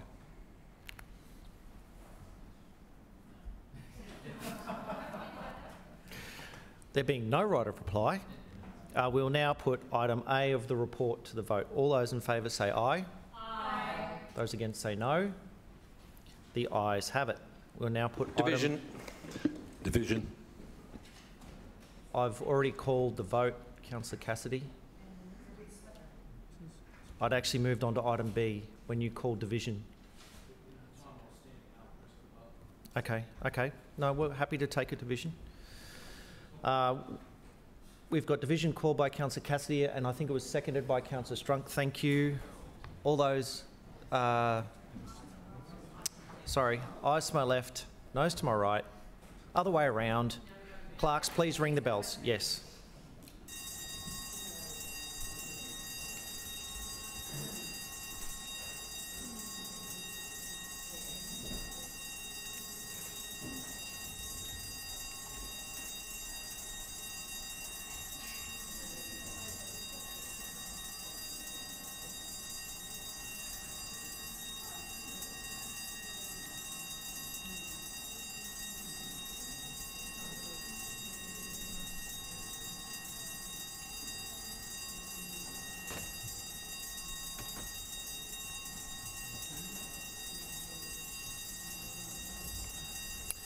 Clerks, please read the results. Mr Chair, the ayes have it, the voting being 18 in favour and 5 abstentions. Item A has passed. Councillors, we will now put item B. All those in fa- uh, item B, all those in favour say aye. Aye. Those against say no. The ayes have it. Councillors, we move on to, but before we do, can I just take a moment to acknowledge our former councillor in the gallery, Norm Wyndham. Norm, welcome back to back to the chamber. Um, Deputy Mayor, Economic Development and Brisbane 2032 Olympics. Thank you, Mr Chair. I move that the report of the Economic Development and the Brisbane 2032 Olympic and Paralympic Games Committee meeting held on Tuesday the 31st of October 2023 be adopted. Seconded. It has been moved by the Deputy Mayor, seconded by Councillor Hutton, that the report of the Economic Development and Brisbane 2032 Olympic and Paralympic Games Committee meeting held on Tuesday the 31st of October 2023 be adopted. Point of Deputy Mayor, order, you've got the call. Uh, sorry, Councillor Collier, your point of order. I move that the motion currently lying on the table, um, Aboriginal and Torres Strait Islander flags on the Story Bridge, come off the table for debate. Seconded. Thank you. We have a procedural motion to take a motion off the table, and the motion reads that Brisbane City Council commits to urgently uh, installing the Aboriginal Torres Strait Islander flags on the Story Bridge in addition to the Australian flag, and that was moved by former Councillor Cook and seconded by Councillor Cassidy. All those in favour of taking the motion off the table say aye. Aye. Those against say no. No. Noes have it. Division. Division. Division called by Councillor Cassidy and seconded by Councillor Collier. Eyes to my right, nose to my left. Clerks, please ring the bells. I got it right that time.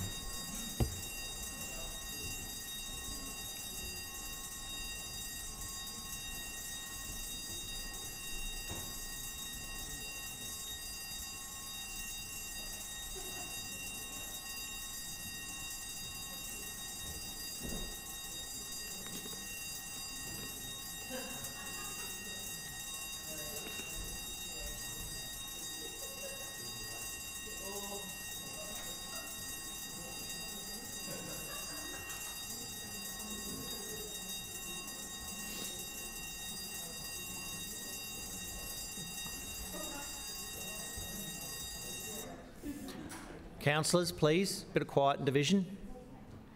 Clerks, please read the results. Mr Chair, the uh, noes have it, the voting being 5 in favour and 17 against. Councillors, the procedural motion has not passed. Please resume your seat. Councillors, you can resume your seats.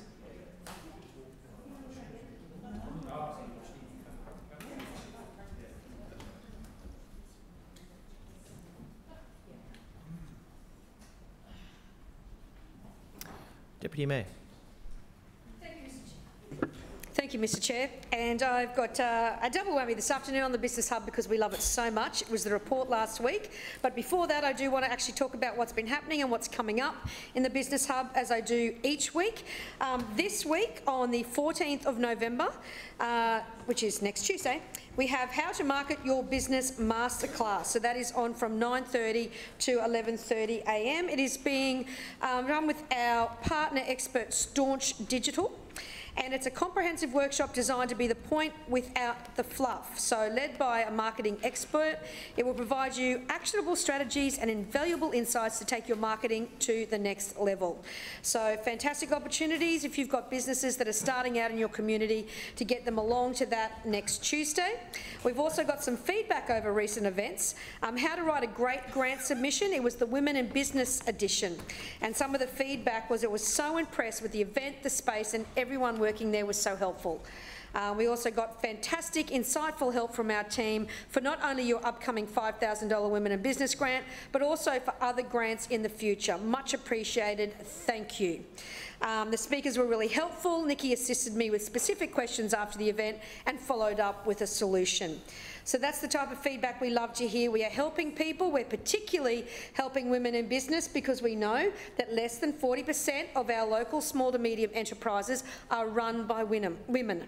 And there's a great hot Wynnum not run by Wynnum either, but run by women. We'll be running Wynnum soon.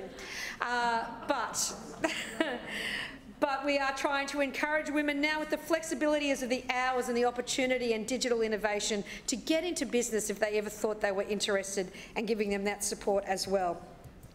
Last week's presentation was on the Business Hub because it was our third birthday. Can you believe that, Lord Mayor? Anniversary, third birthday of the Business Hub. And I just have to go through some of the actual statistics. In three years, 370 workshops and events, over 400 facilitators, 92% participant satisfaction, 445 mentoring sessions with over 90 mentors with 100% satisfaction from our participants. 12,950 unique businesses supported, 23,000 total visitors to the hub, including 12,100 using the co-working space and 10,900 event attendees. We've had over 86,300 website visits and 38,790 online subscribers. So whether you can come in person or you can come online, there is something for everybody and I encourage all councillors to please promote this fantastic resource to your businesses right throughout the city. We can definitely speak to them. The question questioning committee last week, what if your head's down and working too hard, you can't get into the city? We've also got our ED team with our business liaison officers out there to help people in the chambers and in their suburbs as well. I recommend the report to chambers. Thank you. Thank you, Deputy Mayor. Further speakers. Councillor Cassidy. Uh, thanks very much, Chair. And uh, just on the um, presentation of the Brisbane Business Hub and to what uh, Councillor Adams just mentioned then, we did have a discussion around the support the Brisbane, the Brisbane Business Hub can or can't and often doesn't um, provide to um, small suburban businesses. Um, and I raise these issues, as Councillor Adams has uh, alluded to there, in that um, a lot of the bulk of Brisbane's small businesses that might otherwise like some support from council, whether it's to keep the doors open, um, whether it's to expand their operations and diversify in a difficult um, economy, aren't getting the support they need from council to do that. And we had a discussion that there are some online options and things like that. Um, but I went and had a discussion about the Brisbane Business Hub with a local business, with the sort of, you know, trying to, to do the right thing and extol its virtues um, to this small business owner in my ward. Um, and just in that short conversation that I had with that business owner, um, so I, I, learned some amazing things about the kind of support they would love to get from council, but simply aren't. Um, they pay their footpath dining permit. Um, they have a, the area marked out and pay for it. It's pretty extensive for a um, small cafe. Um, but the footpath's so damaged there that an elderly resident recently tripped over and broke bones, um, had to be taken away in an ambulance. Council came and looked at it and said that should be fixed soon. It's still not fixed. Um, still not fixed today. Um, they, they tried to diversify into selling some items that they produce in their, com their commercial kitchen, their approved kitchen by council um, at markets. Uh, and they were told they'd have to pay, it's close to $1,000 for a market, uh, a market permit, where across the bridge in the Moreton Bay Regional Council, it's half that. It's half the price. So that meant that business owner couldn't make that commitment to diversify their business. Um, and another one was their food licence. Uh, when they bought the business a couple of years ago, uh, and their first inspection occurred, of course, which it does, but doing the new food licence, and they were marked from Councillor a five Cassidy, down just, to a three. Just give me one moment. Sorry. Councillor Hammond and Councillor Wolff, if you would like to engage in conversation, can you please take yourself to the antechamber? Thank you. Councillor Cassidy. Uh, thanks very much, Chair. Um, they were marked down to three stars because there was a non-compliant front counter. It needed a, a sink in it. So this new owner of the business um, spent tens of thousands of dollars immediately rectifying it. Council came back and said, great, it's signed off, you are totally compliant, but you're stuck on a three-star rating for another two years. They couldn't put them back to a three, uh, to a five-star rating because they had to work their way each year through another star. Uh, and then they were told that they could go to the next star in the next 12 months, get another inspection. 18 months has passed and they haven't had that inspection to progress through that star rating. And why that's important, why that's Point of order. is... Just Mr. one Chair. moment, Councillor Cassidy. Point of order, Deputy I'm happy to respond to this, but the report, again, councillor Cassidy, very clear rules, is about the third year anniversary of the Business Hub. Thank you. This is council. Thank you, Deputy Business Mayor. Hub. Thank you. You've, you've made your point. Uh, Councillor Cassie, I'll draw you back to relevance item A, please. Yeah, Uh, thanks very much, Chair. So the support that the Business Hub could provide this business, who it's a husband and wife operation, employing people locally as well, um, they're just not getting that support through the Business Hub. They're paying more, so when they're stuck on a three-star rating, their food licence fees are much higher. And, but they're left languished for 18 months sat on that, that three-star rating. They're not progressing to the four and the five-star rating, even though they met all of the requirements of council. So when, when the deputy mayor gets up and, and you know, talks about the, the, um, the lobster lunches and the champagne and oysters and things like that, and the business hub um, supporting all of these entrepreneurs in Brisbane and venture capitalists and inventors and whatnot, they have totally forgotten the suburbs. Totally, totally forgotten the suburbs. This guy gets to the cafe at four in the morning. I met him there at three o'clock in the afternoon, still mopping the floors, and just wants some support from council to be able to progress through some very simple things, to be able to continue to put food on his own table and employ people in the local community. And what does he get from this LNP administration? Absolutely nothing. Further speakers? No, no one rising. Deputy Mayor, right a reply. Thank you, Mr Chair. Councillor Cassidy, through you, Mr Chair, has been in this place for eight years. And I'm so glad to see he finally got out of his office and spoke to a local business. nice change. Apparently he spoke to a bus driver, but I, I call hogwash on that. I think he spoke to a union member that represents the bus drivers. But this is the Food Safety Act that we need to deal with, which, wait to see what's coming, but the Eat Safe is there for a reason. Now, this is not to do with the hub. Let's talk about the hub. Third year anniversary. I've got four sections across economic development that Councillor Cassidy still doesn't even recognise because he says, oh, maybe she does this and maybe she does that. But Eat Safe, a well recognised award winning program that we developed in council, which is done through four or five other councils because it was such a good program, actually is about the safety of food. It's not about whether your food's good. Just it's one not moment. about Councillor Cassidy, there's no calling out across the chamber. Deputy Mayor. It's not whether your food is great or good or tasty or your, your service is superlative. It is about food safety. And we make no apologies for the hardest working cafe or the laziest cafe not getting a star that they don't deserve if they haven't complied with the food safety regulations. What I just heard there is that they work hard, so give them a food safety rating. That's what I heard. That is outrageous.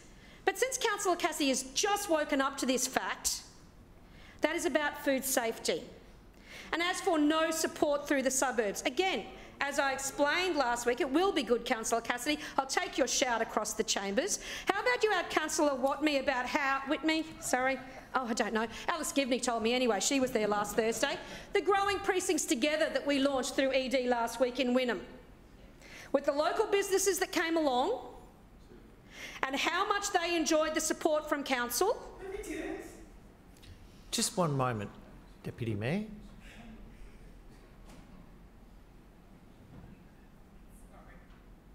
Councillor Whitney, you know that that's inappropriate and highly unprofessional. Deputy Mayor. Thank you. Well, obviously, Councillor Whitney is not speaking to the same people that Alex Givney is. So lucky, after March next year, the Business Development Officer and local business person, former local business person will be down there in, in Wynnum supporting the businesses, as we were in Sandgate through all of the work that we did in their precinct down there, as we were through Morningside when we did the precincts development and local business partnership initiatives down there. We are on the ground. If there is issues with the footpath, that is something that should be raised immediately. And I hope Council Cassidy didn't just chuck it on Facebook, but did actually report it to council officers or the chair. But it's not the business hub that manages the footpaths. And for him to say that we don't support businesses because there's something wrong with the footpath is outrageous. As I said again, I'm glad that Councillor Cassidy finally got to see one of his local businesses. Just one moment, Deputy Mayor. Just one moment. Just one moment.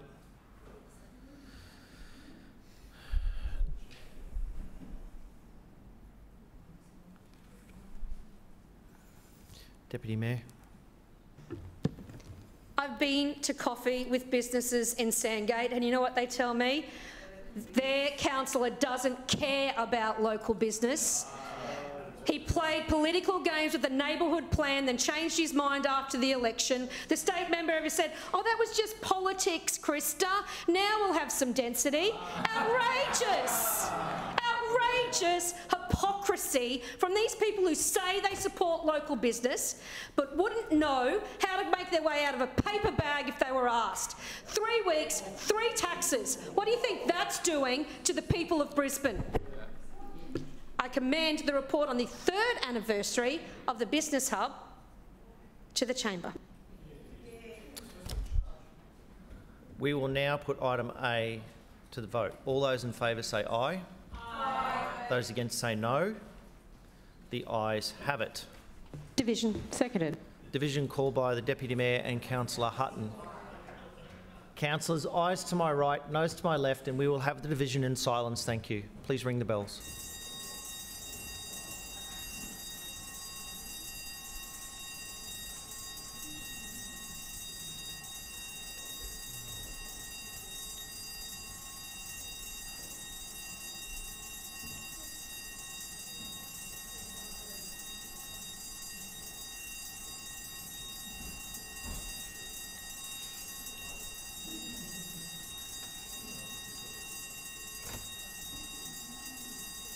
Those pretzels aren't making you thirsty, are they, Councillor Massey? Billy's keeping the water topped up. Mm. Clerks, please read the results. Mr Chair, the ayes have it, the vote being, being 23 in favour. Councillors, the vote is unanimous. Please return to your seats.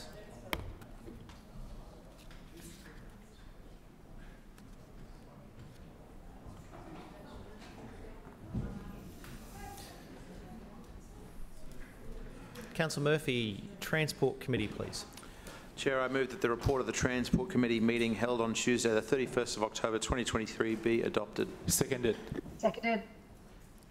It has been moved by Councillor Murphy and seconded by Councillor Huang that the report of the Transport Committee meeting held on Tuesday, the 31st of October 2023 be adopted. Councillor Murphy. Thank you, Mr Chair. Uh, last week in Transport Committee, we had a presentation on the Brisbane Metro Management System, or BMMS.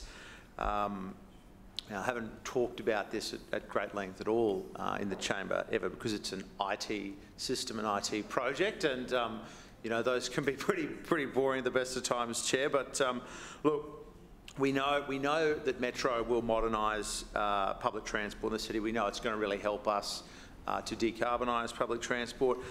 Um, but the project isn't just about delivering vehicles or infrastructure upgrades.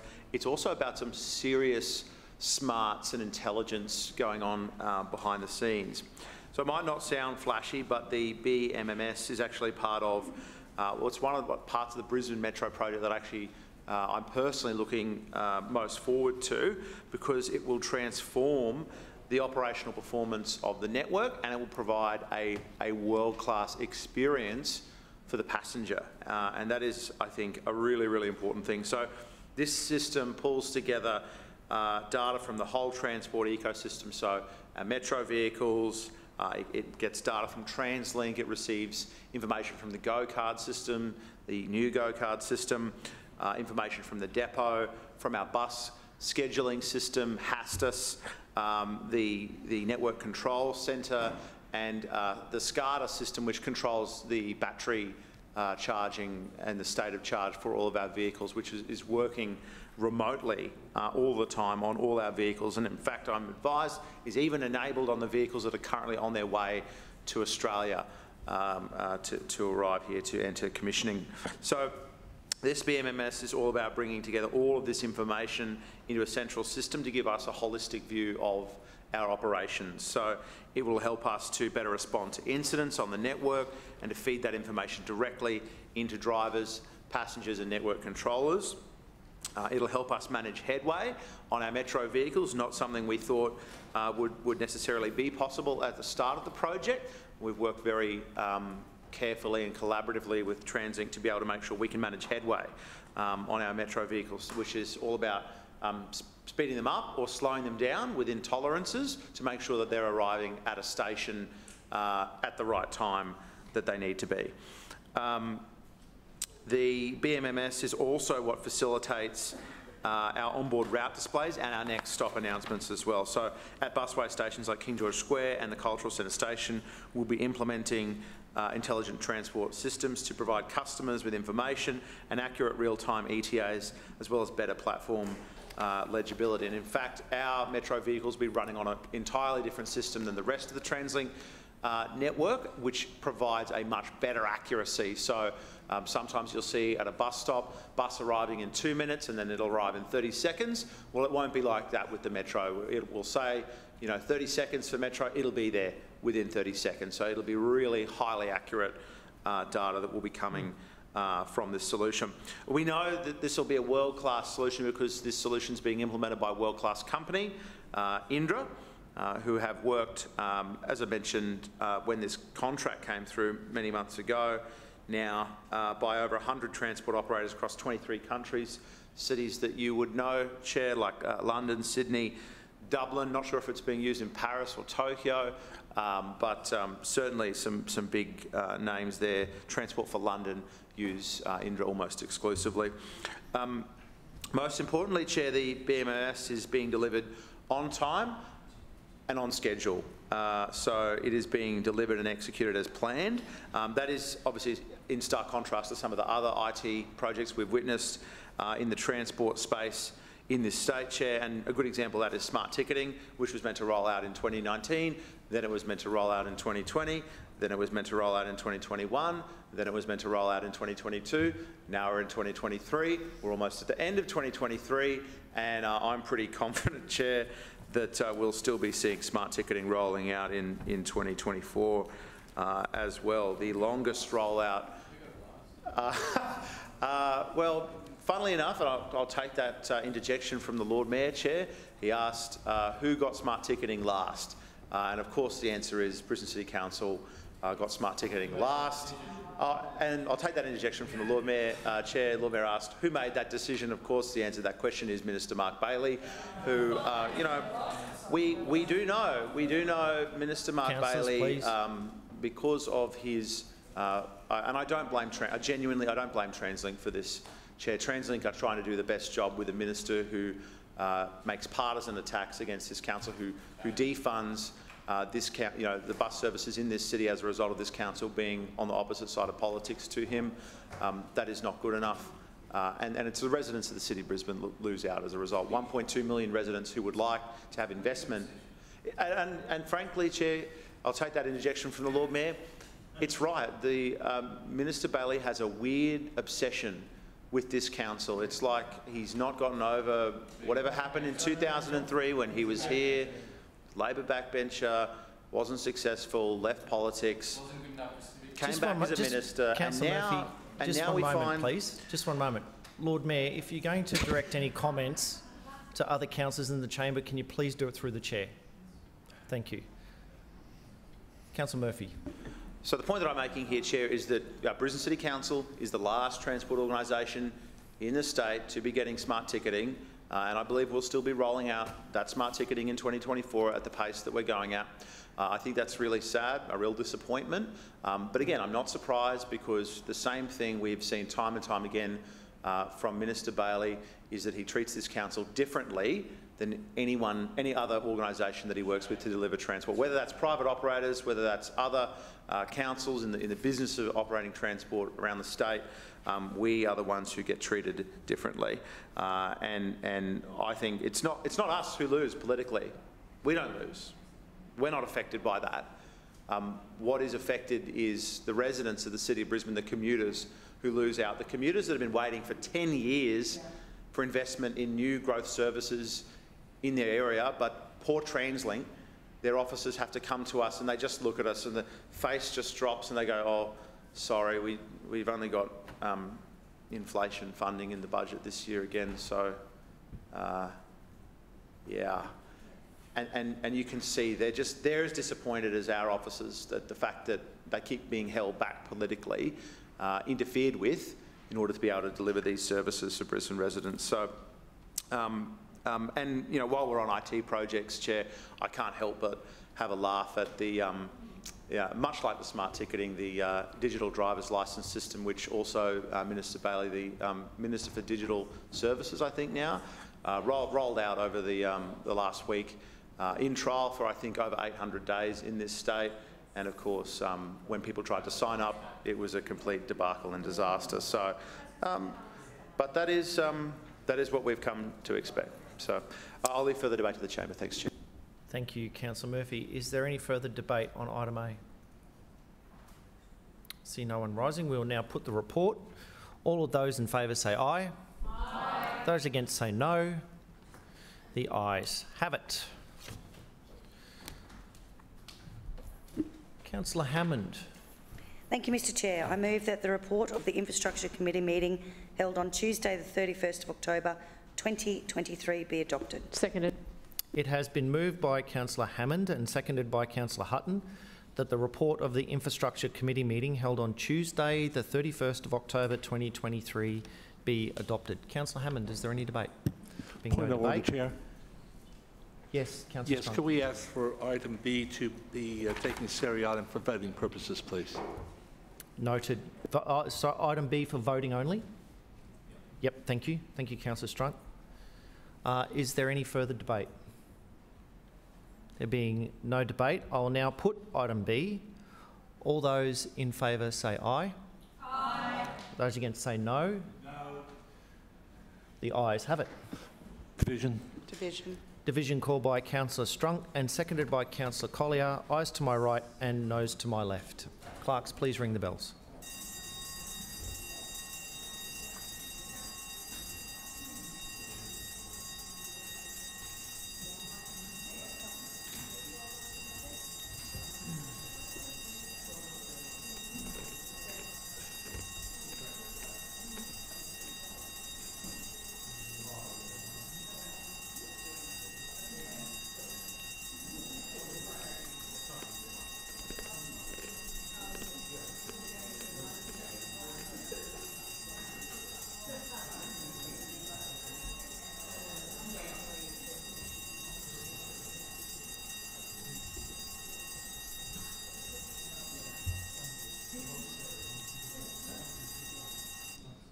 Clerks, please read the results.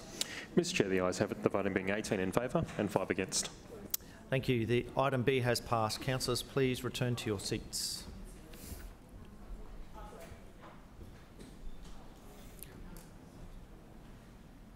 Councillors will now put items A, C and D to the vote. All those in favour say aye. Aye. Those against say no. The ayes have it. Point of order, Chair. Point of order, Councillor Hutton. Uh, Mr Chair, I move that council now adjourn for afternoon tea for a period of 15 minutes, which commences only when all councillors have vacated the chamber and the doors have been locked. We have a, a motion for afternoon tea for a period of 15 minutes, moved by Councillor Hutton, seconded by the Deputy Mayor for a period of 15 minutes. All those in favour say aye. aye. Those against say no. The ayes have it. See you in uh, 15 minutes, councillors.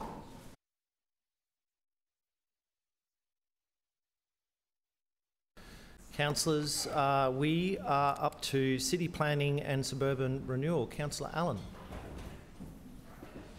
Uh, thank you, Mr Chair. I move that the report of the City Planning and Suburban Renewal Committee meeting held on Tuesday the 31st of October 2023 be adopted. Seconded. It has been moved by Councillor Allen and seconded by Councillor Atwood that the report of City Planning and Suburban Renewal Committee meeting held on Tuesday the 23rd, sorry, Tuesday the 31st of October 2023 be adopted. Councillor Allen. Uh, thank you, Mr Chair. Um, before moving to the committee report, I would just like to acknowledge the uh, contribution of Councillor Fiona Hammond is the, uh, the Deputy Chair of the City Planning and Suburban Renewal Committee for uh, quite some time up until recently. So uh, certainly her contribution to that committee has been terrific and certainly a good sounding board um, from time to time. So uh, thank you very much for your contribution, Councillor Hammond. Um, turning to the committee report, uh, item A was a committee presentation on our Housing Supply Action Plan. Mr Chair, it should be no surprise to uh, my colleagues in the chamber that uh, housing is a challenge in our growing city. We know Brisbane is projected to grow from a population of approximately 1.26 million people in 2021 to a city of 1.72 million people in 2046. To accommodate this growth, the city will need 209,700 new homes by 2046. This equates to approximately 8,500 new homes every year. Through the development of our housing strategy released earlier this year, research has also shown that 56% of all Brisbane households are singles and couples with no children. However, when this figure is compared to the available supply, unfortunately, less than one third of all Brisbane homes are one and two bedrooms. And whilst Council has nearly a decade of housing supply approved, we need to look at ways to make it easier to construct these approved dwellings to deliver quality, affordable and well-located housing. As such, the Housing Supply Action Plan includes the Housing Supply Incentive. The incentive looks to reduce infrastructure charges for the delivery of studio, one and two bedroom apartments across both build to rent and build to sell developments. And it is concentrated in smaller targeted areas to address and provide additional supply for these smaller households. These targeted areas include those that are already planned for higher density living, such as high density residential, principal and major centres, and mixed use inner city zones. Developers with a current eligible development approval from 1st January 2022 can apply for a 75% infrastructure charges reduction. Additionally, developers will have until the 30th of June 2025 to apply for new development approvals and up until the 1st of April 2026 to apply for up to 50% of the infrastructure charge reductions. For a development to be eligible, construction must be completed within four years from when the application is approved. But the biggest winner is our community housing providers who will receive a 100% permanent and ongoing reduction to make it even easier for them to deliver vital social housing. The Brisbane Housing Company have recently stated that under this incentive they will be able to save up to a million dollars for every 100 homes they deliver. Mr Chair, we received several questions during the presentation that were taken on notice and I'd like to provide an update on these. Councillor Johnston asked how many have benefited from the incentive. as the policy sets out criteria for this incentive, including approved developments that had not yet commenced construction and required developments to be completed within four years, there are yet to be any development sites that have received the reduction. However, interest in the incentive has been overwhelming. Councillor Johnston also asked how many approved DAs that are not yet constructed and the breakdown on these DAs in respect to detached, semi and attached dwellings. As the incentive, incentive is aimed at higher density living, such as high density residential, principal and major centres and mixed use inner city zones, eligible applications would be attached multi-unit dwellings. As such, I can confirm that over 40 sites who have received a development approval since the 1st of January 2022 have been identified within these zones. Across these sites, there is the potential to provide over 3,100 additional dwellings for the city, increasing much needed supply. With 96% of all homes built by the private sector, clearly government alone can't solve this housing challenge. Our plan is the biggest step taken so far to kickstart the construction of new homes, but it is the right thing to do with the limited levers Council has to help solve the housing crisis. Reducing infrastructure charges will help reduce construction costs and achieve more housing in key growth areas with good access to high-frequency public transport, jobs and facilities. And I'll leave further debate to the chamber. Thank you, Councillor Allen. Are there any further speakers? Councillor Massey. Uh, thank you, Chair. Um, I rise to speak on the Housing Supply Action Plan briefing. Um, I sat on the committee last week. It was the first time that I sat, so I thank Councillor Allen through you, Chair. Um, and, and, I do have to state um, on the record that that committee was unexpectedly volatile and definitely not a safe working environment. Um, but I did want to highlight some other points um, around the Supply Action Plan briefing you know, since when the T, uh, TLPI, since the TLPI Kurilpa was presented firstly here in Chambers, I've been stating clearly the whole time that this blunt instrument would be used across the city. And in this presentation, we have the clearest demonstration that it will be. Um, and this blunt instrument that will be used across the city is something that would suspend the city plan, in so many areas and will undoubtedly supersede the height limits of all the neighbourhood plans in those areas. Um, and of course, doing that um, creates major concerns for the local communities. Um, and this kind of distribution across the city will undeniably happen without community consultation. And it will happen in areas like Milton, Albion, Toowong, Fortitude Valley, Chermside, Wynnum, Carindale, Indooroopilly, Mount Gravatt, and Newstead. Um, but the thing is, these communities are organising. Um, the political apathy that the LNP are hoping for, especially in the place of development, public housing and affordable housing, is disappearing. And people engaged, aware, um, and you know what? Specifically in New Farm and Teneriffe, they're really activating out there. It's, it's going to be a bit of a fight. They're really getting together out there. And further to the TLPI, which is in the um, Housing Supply Action Briefing, it's looking a bit like a furphy, isn't it? Because it turns out that even developers don't want to build to unlimited heights. So we're, we're actually yet to see if that TLPI is going to have the effect that it should. Um, and the other thing is we're yet to see if these tax breaks for developers will achieve anything. But what we do know is one of Brisbane City Council's primary function, which is infrastructure delivery, will be affected. Not just by the $400 million black hole, but also the developer cuts. So these communities, our communities across this chamber, Milton, Albion, Toowong, Fortitude Valley, Chermside, Wynnum, Carindale, and Indooroopilly, Mount Gravatt, and Newstead will see less or nothing in the way of infrastructure deliveries like drainage parks, park upgrades, footpaths, and active transport. Um, some of the core work that this council is supposed to do.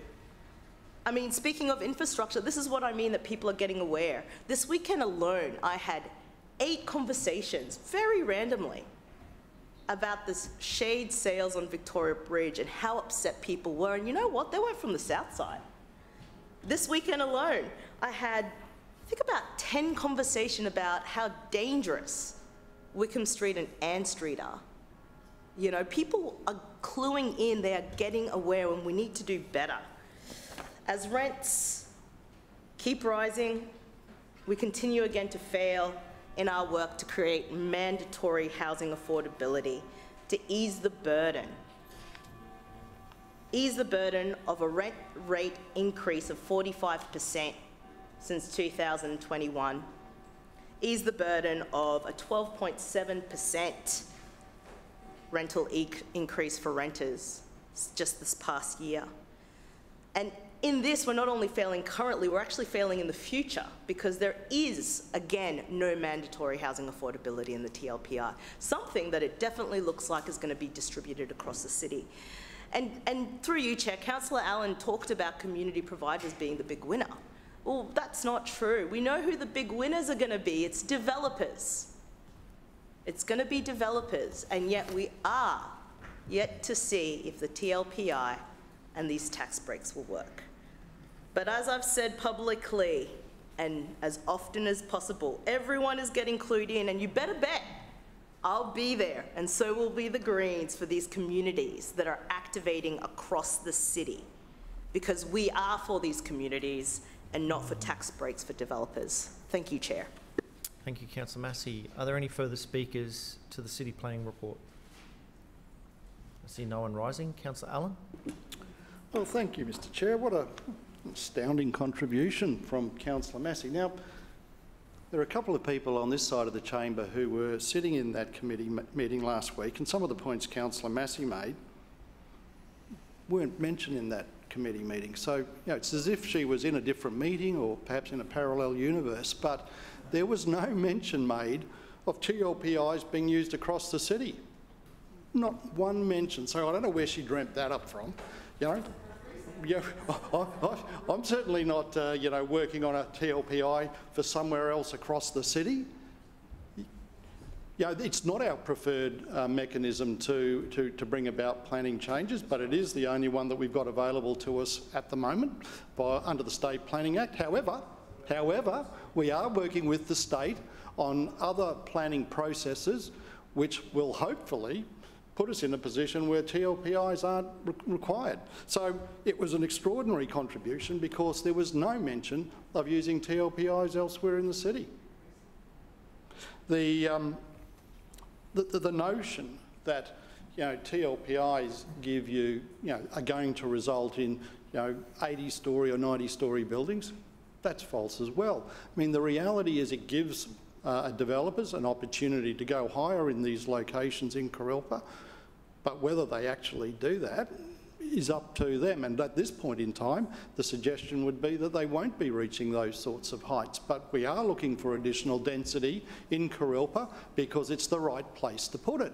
It's well serviced by public transport and other amenity, and we've said this numerous times in the chamber. It is the right location. We've put in place the framework. The state government have now got the current TLPI and that will be the basis upon which development proceeds in that particular precinct. And I think Councillor Massey's contribution is yet another example of the Greens not supporting housing. Make no mistake, the Greens are not supporters of housing. They have consistently opposed neighbourhood plans. Just one moment, Councillor Allen. Uh, Councillor Massey. Uh, misrepresentation. Noted. Thank you. Councillor Allen? Well, Councillor Massey did open up the conversation on housing, um, but nonetheless, the this sort of notion that um, our initiative to try and bring forward the supply of studio one and two bedroom housing is not a good thing is demonstrably incorrect. We have a supply challenge in this city developers are facing significant cost challenges. if anybody would just go out and investigate what's happening in the industry, they would be told the reality of the situation. We have to bring down costs to build in order to uh, get that supply on the ground. That's exactly what we're trying to do. Um, we're doing that in a way that's very targeted, that's going to produce the right products in the right location. Thank you, Mr Chair. Thank you, Councillor Allen. Uh, Councillor Massey, your point of misrepresentation, please. Uh, thank you, Chair. I've stated many times that I support n- low, medium and high density development and high density development within our city plan that is 30 stories high. Thank you, Councillor Massey. We will now put the report to the chamber. All those in favour say aye. Aye. Those against say no. No. The ayes have it. Councillor Davis, Environment, Parks and Sustainability Committee, please. Uh, thank you, Mr Chair. Mr Chair, I move that the report of the Environment, Parks and Sustainability Committee meeting of Tuesday, 31 October be adopted. Seconded. It has been moved by Councillor Davis and seconded by Councillor Wolff that the report of the Environment, Parks and Sustainability Committee, uh, committee meeting held on Tuesday, the 31st of October 23, 2023 be adopted. Councillor Davis. Uh, well, thank you very much, Mr Chair. Before I go to the report, can I also acknowledge Councillor Fiona Hammond? Uh, as you would know, Councillor Hammond was chair of the EPS committee for some time, and in that time that she did, um, she did have stewardship of the portfolio area. She really um, delivered a whole range of projects which we can be very proud of, or certainly started some of the projects for which uh, have now been delivered, including the extraordinary Bradbury Park. So can I thank you, uh, uh, Councillor Hammond, for your um, efforts in this role. Um, they will be remembered for a very long time, and uh, of course, I wish you well in your future endeavours. Uh, Mr Chair, last week's committee presentation was on the Brisbane Botanic Gardens Visitor Experience Program, and it was great to have uh, Dale Arvidson uh, present to us. Uh, Dale, as you would know, heads up the curatorial team at uh, the Mount Coot-tha Botanic Gardens, uh, and he presented on how this, uh, our network of very passionate uh, volunteers work to activate um, one of Brisbane's most iconic parklands, which of course is the Mount Coot-tha Botanic Gardens. Um, the Brisbane Botanic Gardens at Mount Coot-tha are often the first tourist site uh, experienced by international and interstate visitors, with uh, approximately 30% of all garden visitors coming from outside of Brisbane. The gardens also attract a large number of school groups, with over 5,000 visitors last year and over 3,800 so far this year, well on track for 6,000 this year. The volunteer welcomers and guides uh, work to enrich the visitor experience with their knowledge about the garden's features, uh, with not only the ability to guide people around the gardens, but also pass on deeper knowledge of some of the park's features. Our volunteers also assist with a range of events aimed to educate our visitors about the wonder of plants, both large and small, within the Botanic Gardens. The events held at the gardens are designed to cater for a wide range of functions, from small bespoke site-specific ones to larger commercial functions that have up to 2,000 people attending. All of the events are focused on promoting plants within the garden and celebrating the beauty and diversity of plants in our subtropical environment. While a lot of our volunteers had been with the gardens for more than a decade, more volunteers are always welcome. We've actually just commenced training our 2023 annual intake of new volunteers, which I'm told is uh, a very informative course that takes about a month. Mr Chair, we also had a petition requesting Council amend our policy to flying fox management and develop a plan to move flying foxes on, and this was unanimously supported by the committee. And for the record, the committee endorsed an expenditure from the Suburban Enhancement Fund approving the upgrade of the picnic area node at Martindale Street Park in Chermside West. I'll leave further debate to the chamber. Thank you, Mr Chair. Thank you, pardon me. Thank you, Councillor Davis. Are there any further speakers? I see no one rising. We will now put the Environment, Parks and Sustainability Committee report to the vote. All those in favour say aye. aye. Those against say no. The ayes have it. Point of order, Mr Chair. Point of order, Deputy Mayor. Um, under section 42.2J, um, I would like to move a motion of apology for Councillor Wines. It's come to my attention that he won't be joining us this afternoon, and I move that the Chambers accept an apology and grant him leave for this meeting. Seconded. We have an apology motion uh, for Councillor Wines. Uh, all, it's a procedural motion. All those in favour say aye. Aye. Those against say no. The ayes have it. Thank you. Uh, where am I up to? City standards. Councillor Adermann. Yeah, thank you, Chair. I move the report of the City Standards Committee meeting held on Tuesday, 31st of October 2023 be adopted. Seconded. It has been moved by Councillor Adermann and seconded by Councillor Hutton that the report of the City Standards Committee meeting held on Tuesday, the 31st of October 2023 be adopted. Councillor Adermann, you've got the call. Yeah, thank you, Chair. Last week, the City Standards Committee received an update on the Sherwood Arboretum. The Arboretum is overseen by Council's Public Space Operations team, which ensures its upkeep through horticultural and habitat maintenance, as well as the construction of new pathways and infrastructure upgrades. The Sherwood Arboretum displays strong values in flora and education with its living collection, habitat management for wildlife and for the community as a valuable recreational green space as we lead up to the 100th anniversary in 2025. I'd like, also like to acknowledge, as uh, Councillor Davis did, um, Dale Arvidson and his team for the tremendous work they do at the Arboretum. I'll leave further debate to the chamber. Thank you. Thank you, Councillor Adermann. Sounds like uh, Dale Arvidson had a busy day last Tuesday. Uh, any further speakers? There being none, we'll now put the report. All those in favour say aye. aye. Those against say no. The ayes have it. Community Arts and Nighttime Economy, Councillor Howard. Well, thank you, Mr Chair. I move that the report of the Community Arts and Nighttime Economy Committee meeting held on Tuesday the 31st of October 2023 be adopted. Seconded.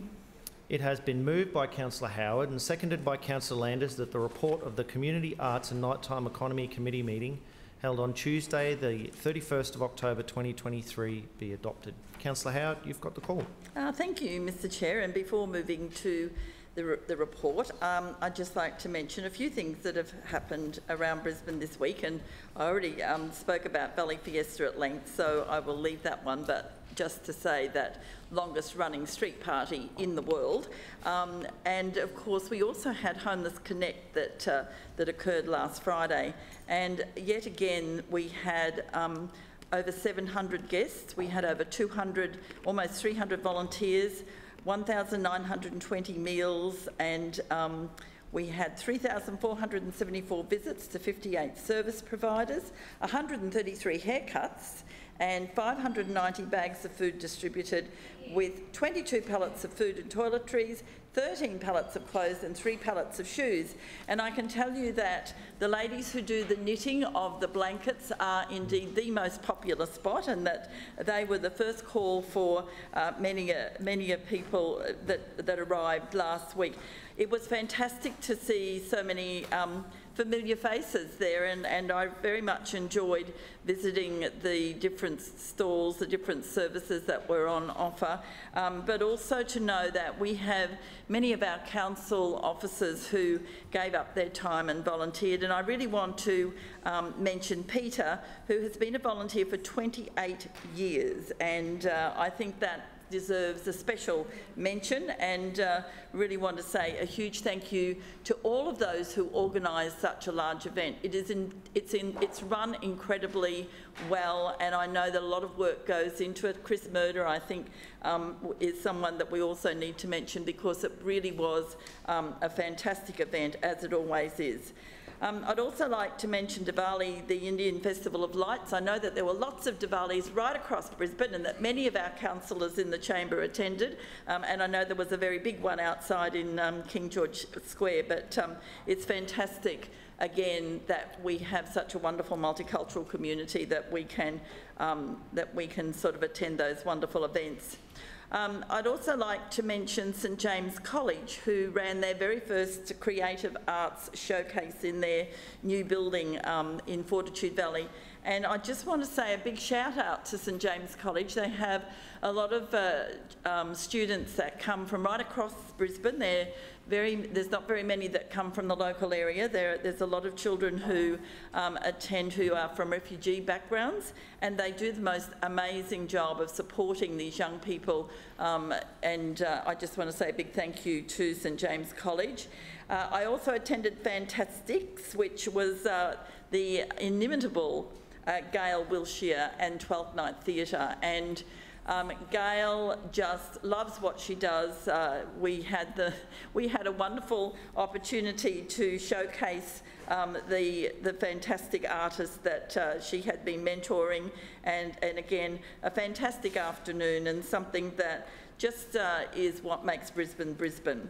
Um, I also attended the Area 25 Toastmasters Conference and was pleased to see that uh, we had some of our very own Brisbane City Council Toastmasters there.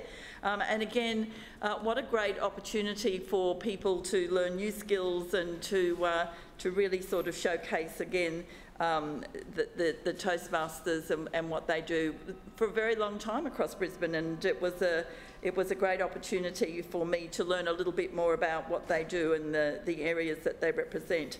Um, on Sunday, um, I was pleased to attend the 4MBS Brisbane Shakespeare Festival, The Tempest, along with uh, their patron, the Governor. We sat out um, in Roma Street Parklands and had the most amazing opportunity to see local Shakespearean artists perform, much as they probably would have performed uh, way back when in the open air. And uh, it was, uh, of course, uh, uh, a fantastic event, and uh, the rain did not um, fall on our parade, and so again it was uh, it was brilliant. And also I want to um, acknowledge Councillor Wines in his absence, who yet again took out the Councillors Croquet Cup each year. Um, we Merthyr Croquet people and the Windsor Croquet people get together.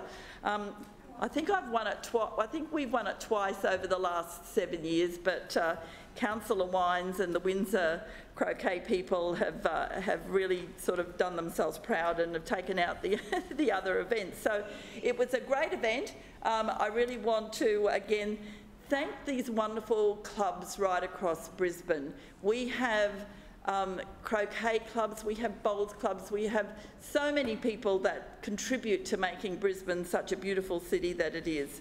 And moving to the report, we can talk about some more things that make Brisbane as beautiful as it is, where we had a presentation last week on the Queensland Music Trails Sweet Relief. And yet again, we heard um, from the team that uh, put all of this together about the amazing work that they had done at North Shore Hamilton. This year, um, the festival was, was held in, the, in this area and it really was an opportunity for them to set it up in such a way that they also partnered with Spinal Life Australia and the festival was accessible and inclusive and they were at great pains to explain to us how that had occurred and it was uh, something that I think that we're all very proud of.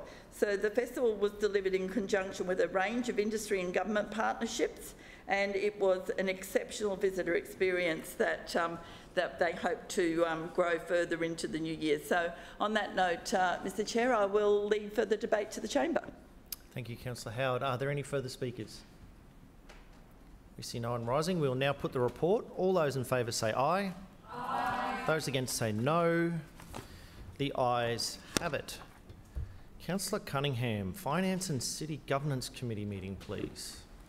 Thanks, Mr Chair. I move that the report of the Finance and City Governance Committee meeting held on Tuesday the 31st of October 2023 be adopted. Seconded.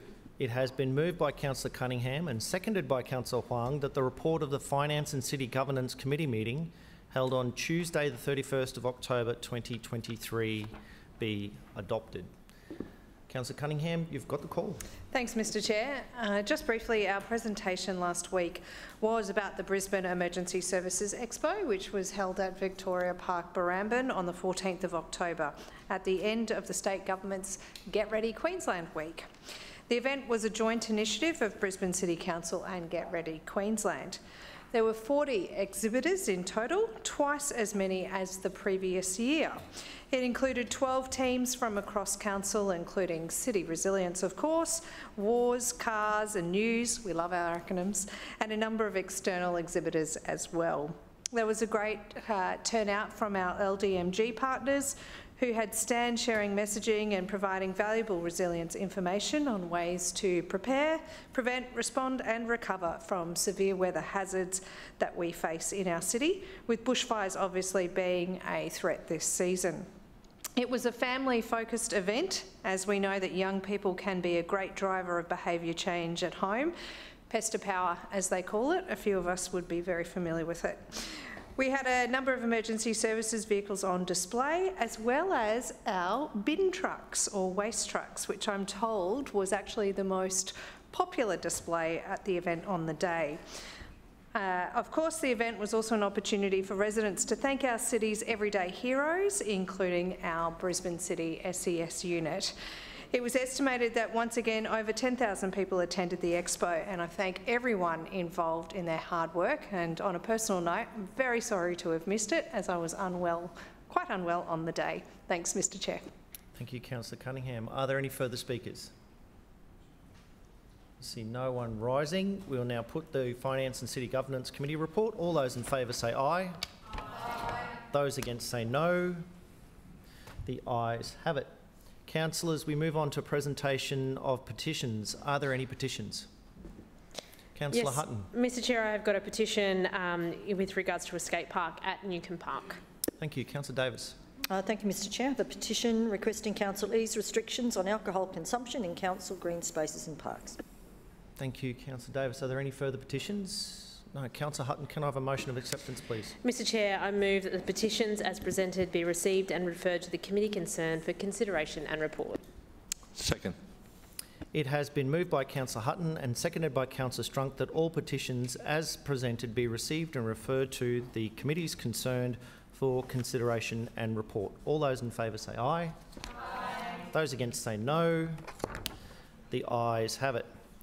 Councillors, are there any statements required as a result of the Office of the Independent Assessor or Councillor Ethics Committee order? See no one rising. Councillors, are there any matters of general business? Thank you, Mr Chair. Just bear one moment, Councillor Hammond. Now you've got the call. Thank you, Mr Chair. Um, please bear with me because it might be a teary affair. Whew. Today I rise to make my final speech in this place told you I couldn't do it, team.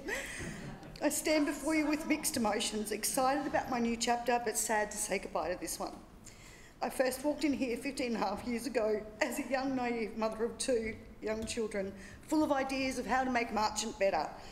I quickly learned that it was not my ideas that mattered, it was the ideas of residents and bringing their ideas to life. I also learned that everything we do is going to have support and opposition. Every resident's view is important, and as a politician, you are not instantly believed. And this is why I do a lot of public meetings, street meetings, mobile offices, so residents can hear that other residents may have different views and their views are just as important. I love this when a resident said to me, do you stay awake late at night thinking of ways to just annoy us? Well, the simple answer is no, and we've all been there in this place. To the new councillors, the important thing for us to remember is to listen and that we make friends and lose friends every day, and we are not going to make everyone happy. Whether it's a footpath, bikeway, or road upgrade, what I say to you is don't be afraid to stand up to your residents and explain, front your residents, and explain and sometimes support changes to a project. Don't behind behind your desk. Get out there and listen because that's what we're paid to do, to be the people's representative. This administration that I have had the honour to be a part of has a proven track record of delivery, and there are so many, too many to mention in only 10 minutes. Number one, working with the local people at the Stafford Skate Bowl. I empowered them by giving them ownership of the park, and it was amazing to see that the crime rate dropped by 80%. Been open, honest with them, and spending nearly every second day back in 2009 down there, getting them to organise events, and even doing a photo shoot in the bowl. One of my fondest memories is when I was in the bowl, the kids weren't going to let me out um, until I promised for some improvements at the, at the local park. Thankfully, the boys and young ladies let me out, and we have exercise equipment and dog off leash area down there now, which is both used very well. Geebung overpass is number two. The major infrastructure upgrade had been promised for nearly 100 years, a lot like the railway to Redcliffe. Well, it took an LNP council and an LNP state government to deliver and what a difference it has made to the local community. Other major intersection upgrades like Maundrell Terrace, Hamilton Road, uh, Murphy Road intersection upgrade, um, Ellison and Kirby, Days Road and Raymont Road. Um, all of these came by listening to residents, careful planning and construction. I'm so proud of the Council their continued work done at the Kedron Brook restoration after the terrible floods in 2022. I would like to thank the residents for their patience while we built back better. Other milestones I am proud of delivering are the Chermside and Grange library upgrades, getting Valleys Football Club the extra fields once um, the Grange Archers moved on. Sorry, Geraldine Knapp, I know you wanted tennis courts there, and it took you approximately 18 months to forgive me. But I can say that Valleys are very happy, and so is the community.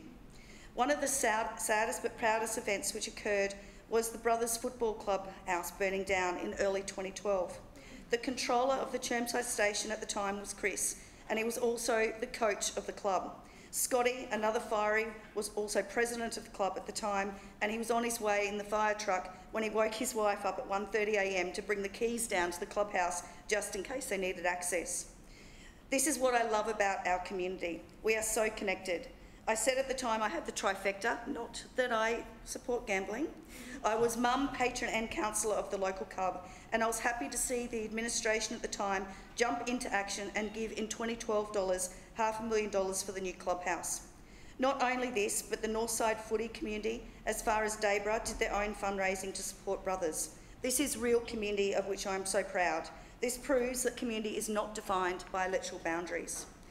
Mayfair at Lennon Park is another project I'm so proud of. Um, I started this in 2008, but it could not have been possible without Inner North Rotary, formerly um, Stafford Rotary. Without you Rotarians, Mayfair would never have happened. I have been honoured to be patron of many clubs and organisations over the years, including Brothers Juniors Rugby League, Valleys Football Club, Metropolitan Dog Obedience and the local um, Chermside um, Ambulance Committee. Um, although I'm standing down, I'll always be there to support you. I would like to say a big thanks to Valleys and Brothers for making me their, again, 2024 club patron. Thank you. To Valleys and Brothers, I always enjoyed wearing mixed uniforms when you played against each other, and my greatest embarrassment was doing the first kick at one of your senior games. I've never been asked back. But I can promise you, I will I have practiced my kick since then, and I'm so happy I gave it a go. Again, as a result of listening to my community, I have delivered many park up, local park upgrades over the years. And of course, this year I was so proud to stand beside Lord Mayor Adrian Schrinner and Chair Tracy Davis at the opening of the fantastic new play space at Bradbury Park, which transformed a dusty, dry space which no one used into one of the most visited parks in our city. Um, a park which delegations from council as far as way, as way as Western Australia have come to see how Brisbane just does things better. I have been honoured through my career to have the opportunity to name two parks in my wards. Both parks were new. The first was Terry Hampson Reserve. This administration has always been dedicated to a clean, green Brisbane. I was proud to announce that Council had purchased 1.9 hectares of green space and it would be named after the great Terry Hampson, a previous Labor member for Marchant. If Terry was still with us, I would say thank you. He never played party politics with me. We both had mutual respect for each other because we both put our community first, always. I would like to turn to one of my many sporting groups, and that is Warehouse Cricket. Warehouse Cricket has been played at Marchant Park for over 100 years. Its centenary couldn't be celebrated because of COVID, and I wanted to say to the stalwart Lawrence Christie, you are amazing. Your passion for cricket is understated. And I'd like to thank you personally for your for supporting my brother who has an intellectual my brother-in-law sorry who has an intellectual disability and who has like you an amazing passion for cricket. Also, thank you for introducing me to my all-time cricket hero, Kepler Wessels. I recently hosted a charity cricket match in Stafford, which I hope will be an annual event to support Hearts of Purple, a great organisation delivering real action for at-risk women and men in DV. The match was supported by our, our, Indian community and congratulations to the Napoleons who won the day. I'm so proud to say Councillor Davis and my 89-year-old mum were our opening batters. A big thank you to Councillor Davis and Councillor Adermann for supporting this great cause. However, I do have a complaint to make about Councillor Adermann's umpiring. There was no wides made on my watch. To my wonderful ward staff over the many years, Liz, Yvonne, Karen, and my current ward office staff, Elizabeth, Caroline, and especially to you, Anthony, you have been my PA for eight of the 15 years in office. Thank you for the work you have done for me, but more importantly, the thank, thank you for what you have done for the people of Marchant, dealing with day-to-day -day issues and delivering outcomes. to my mother, you have always been and always will be an ALP supporter. But I thank you for wearing the LNP shirt and handing out how to votes for me. And I'll always remember you to explaining to the ALP you didn't know where you went wrong, but you always supported me. I always, I also thank Mum for taking a risk on the LNP next election and voting for Alex Givney. To Hopewell, I wanted to say a few Shona words. However, I will mess it up in this state. I'll say it badly. Vamba Zenanaka. Looking at my husband to see if I said it right and I didn't. Um, to the chamber team, thank you, Billy, for filling up my Mentos and water and the clerks. Thank you for putting up with the chamber nonsense at times. Lastly, but certainly not least, we, we could not do this job without the support of our families. A massive thank you to my husband, Neil, for believing in me and supporting me on this new adventure. Without you, I could never have made this braced, brave step. In kid order, Sean, I want to be a grandmaster, hurry up. And I am so proud that you're embracing farming like your dad. Kylie, wow, what do I say about you? You're an amazing horsewoman, and your father and I are so proud of the woman you've grown into. Please marry Lily and give me a grandchild. Alex, I could not be prouder of you. You have chosen a career as a soldier, and this makes me so proud that you have chosen to serve your country in this way. Oh, and so I come to Piper. Where do I start with you? When I told you I was stand, to stand down, you have been so very supportive. You have been a part of my campaign team since you were three years of age, and you have always embraced the challenges that have come your way. I am so proud of the young woman that you have turned into, and no Carsten and Piper, no grandchildren yet. to our youngest, Jodie, please be the best artist we know you can be. To my biggest supporter, my dad, Neil. Oh my goodness, where do I start with you, Dad? Thank you, Dad, for believing me always. You told me, all of us kids, that we can achieve whatever we put our mind to, and you led by example. I would not be standing here today delivering this speech without you, Dad. Thank you. To the team of 2000, class of 2008, it's been a wild ride, and I've loved working with you all the way through for the last 15 and a half years. To the whole team, Team Schrinner, I know that you are going to bring, give it all to the residents of Brisbane and be successful in victory in March next year, 2024. Thank you.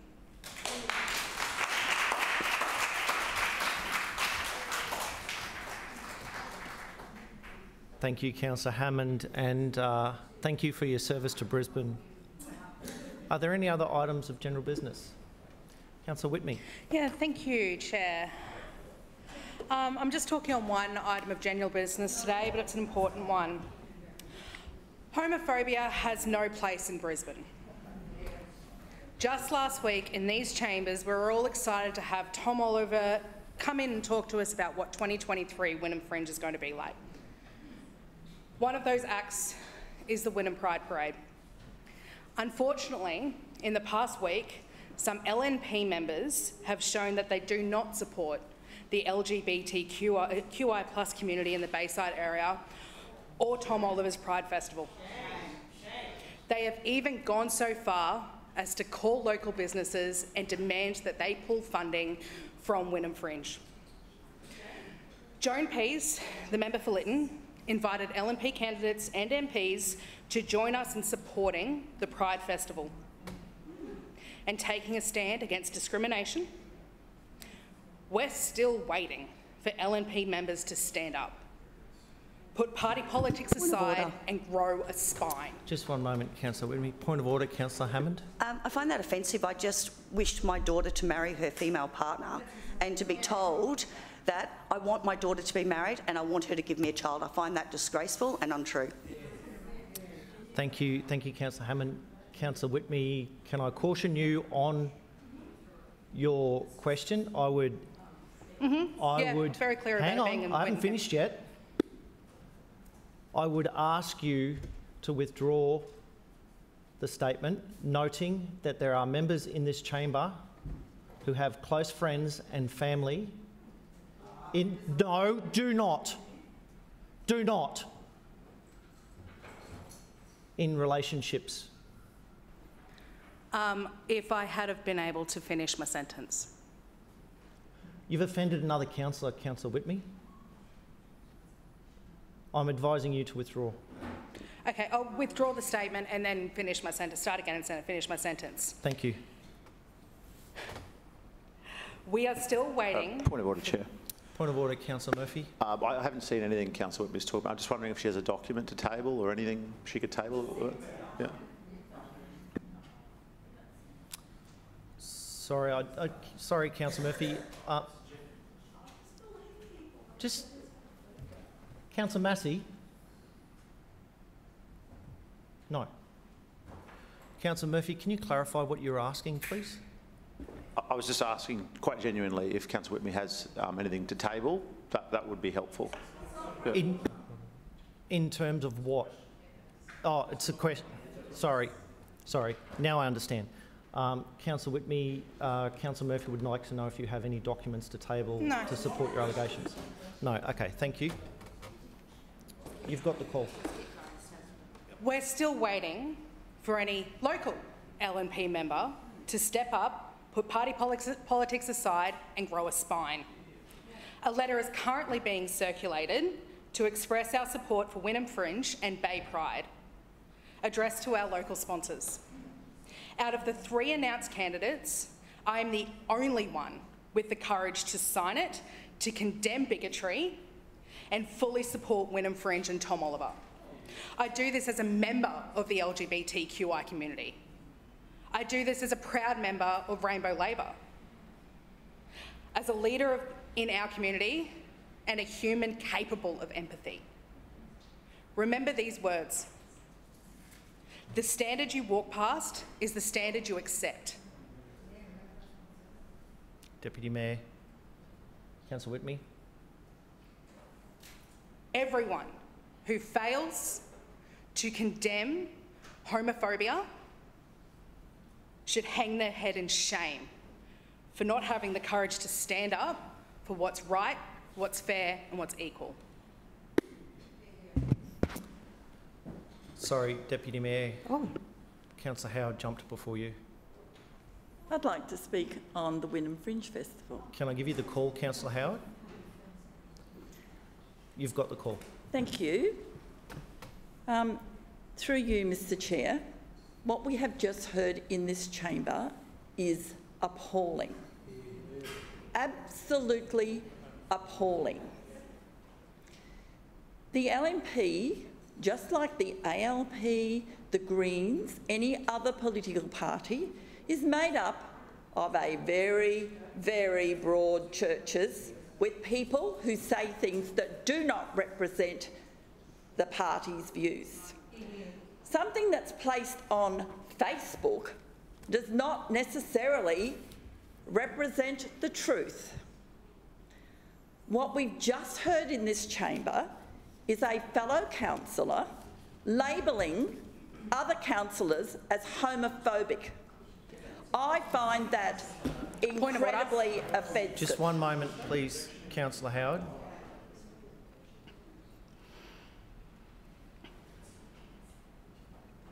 Councillor Whitmee.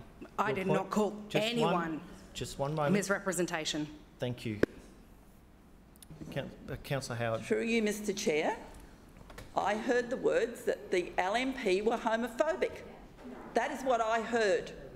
Now, Point of order. Point of order, I Councillor asked Councillor Howard to withdraw what she just said. That's not what I said, and the transcript will reflect. I Um, said there are members of the LNP that are homophobic, and I do take personal offence by what she just said. Councillor Whitmee, you're rising on a point of order. Councillor, you've asked for a right of reply, right? Can we hear, you've still got that, are you willing to, you'd like two rights of reply? Thank you. Councillor Howard. thank you, Mr Chair. Uh, sorry, sorry, my, my mistake. Sorry, Councillor Cassidy, my mistake. It was two right, uh, two misrepresentations. My apologies. Councillor Just- Cassidy. Just seeking some clarification. Councillor Whitmee just asked Councillor Howard to withdraw something. You directed Councillor Whitmee to withdraw, and she did earlier. Yes, she did. You don't listen, ever. Uh, I, Adams. I advised Council, I didn't direct Councillor Whitmee. I advised her to withdraw it. Are you advising Councillor Howard to withdraw that statement? Because Councillor Whitmee just made very clear that she was offended by that and what Councillor Howard was untrue. And Councillor Whitmee has two points of misrepresentation. Don't, Councillor Collier. Point of order. Just one moment, Councillor Cassidy. I'll respond to the first one. Councillor Whitmee has two rights of reply. If Councillor Whitmee would like to stand again and describe to me what she's offended about, I'm happy to direct Councillor Howard to withdraw. A point of order, Chair. Uh, um, Councillor Whitmee might like to clarify that, but um, the exact words that Councillor Whitmee used, you might like to consult the clerks, they could assist you with this, was uh, that she wanted Councillor Howard to withdraw what she had just said because it was untrue, and Councillor Whitmee explained that she didn't call any councillors homophobes, she called members of the LNP. Yeah, I don't And she uphold- asked, and she asked Thank for you, that to be Councillor withdrawn. Cassidy. I don't uphold your point of order. Councillor Whitmee, your um, point of order. Yeah, you, you've um, just asked. No. Councillor Cassidy. What I'm going to do is I want to hear from Councillor Whitmee. You did before. No, no. Yes. Councillor Whitmee. Yeah, you invited me um, before when, while talking with uh, Councillor Collier, um, sorry, Councillor Cassidy, uh, to stand up and explain why I was offended. I did not call a single councillor in this room homophobic, and I asked Vicky Howard to, re- uh, Councillor Howard, sorry, to withdraw what she said. Thank you. Councillor Howard, you care to withdraw? I'm happy to withdraw, Thank you. Mr Chair. However, Mr Chair, I must say that calling anyone homophobic in this chamber without a skerrick of saying who is homophobic, labelling members of a political party as homophobic is disgusting. we have Just one moment, Councillor Howard. Uh, Councillor Whitmee. your point of order. Misrepresentation again. Thank you. Councillor Howard. We have many members of the LNP who are representative of the LGBTIQ plus community. Many, many members. Many LNP members who are very proud. They march in the Pride Parade. They support each other. They support the LGBTIQ plus community.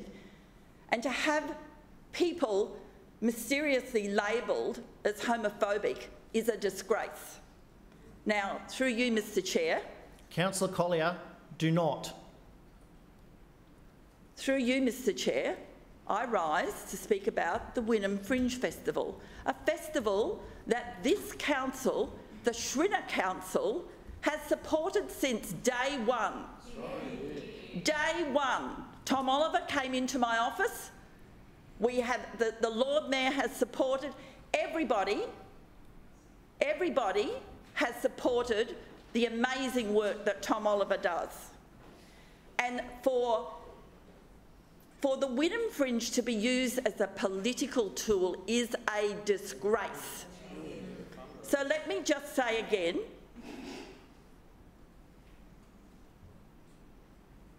again, I'll take the interjection. The Leader of the Opposition using it as a fundraiser. Don't even know what that means. But, oh, there's more interjections. So, through you, Mr Chair, let me make this very, very clear. The Schrinner Council has supported Tom Oliver from day one. The Schrinner Council will continue to support Tom Oliver and the Wynnum Fringe Festival. We are immensely proud of the success of that festival and what it has done for the people of Wynnum. I know that Alex Givney is one of Tom Oliver's strongest supporters. I know that Alex Givney is, will march very proudly with the Bay Pride when they take to the streets of Wynnum. I will also like to put on record that the Pride people from Wynnum have been marching in Wynnum for, for a long time. This is the first official Pride event in Wynnum, but my goodness me, we've had some fantastic events at the Wynnum Fringe, and it's a very, very sad day when something such as this gets dragged into this, to this chamber. I'm just incredibly sad that Councillor Whitmee sees it, sees it as her right to stand up and to label someone homophobic without even knowing who she's labelling. She says it's not one of us, thank goodness for that. But what I want to say to you, Mr Chair, and to the chamber, and to anyone who's listening, that the Schrinner Council has supported Tom Oliver from day one and will continue to do so, and we wish the Wynnum Fringe Festival all its very best, including Bay Pride. Thank you, Councillor Howard. Just one moment, Councillor Massey. Councillor Whitmee, your three points of misrepresentation, Yeah, please. so again, I did get up and clarify that I didn't send, um, call a single person in this room homophobic. Um, I, or I, I, I take issue with the, uh, the fact that I'm refusing to um, uh, table things or name names, considering that uh, the other side of the chamber is very much calling about uh, no privilege in this place quite often. Um, and uh, I I think it was just, or mainly just about the fact that, um, yeah, they should probably talk to their candidate if they don't actually know anything that I'm talking about, because she's very well aware of what's going on. Councillors, Councillor Howard, Deputy Mayor, Councillor Collier. Sorry, my apologies, Councillor Collier. It was Councillor Whitmee. Please accept my apologies, Councillor Collier.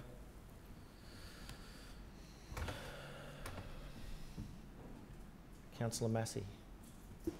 Thank you, Chair. I rise to speak on four items. Um, firstly, uh, to congratulate Valley Fiesta.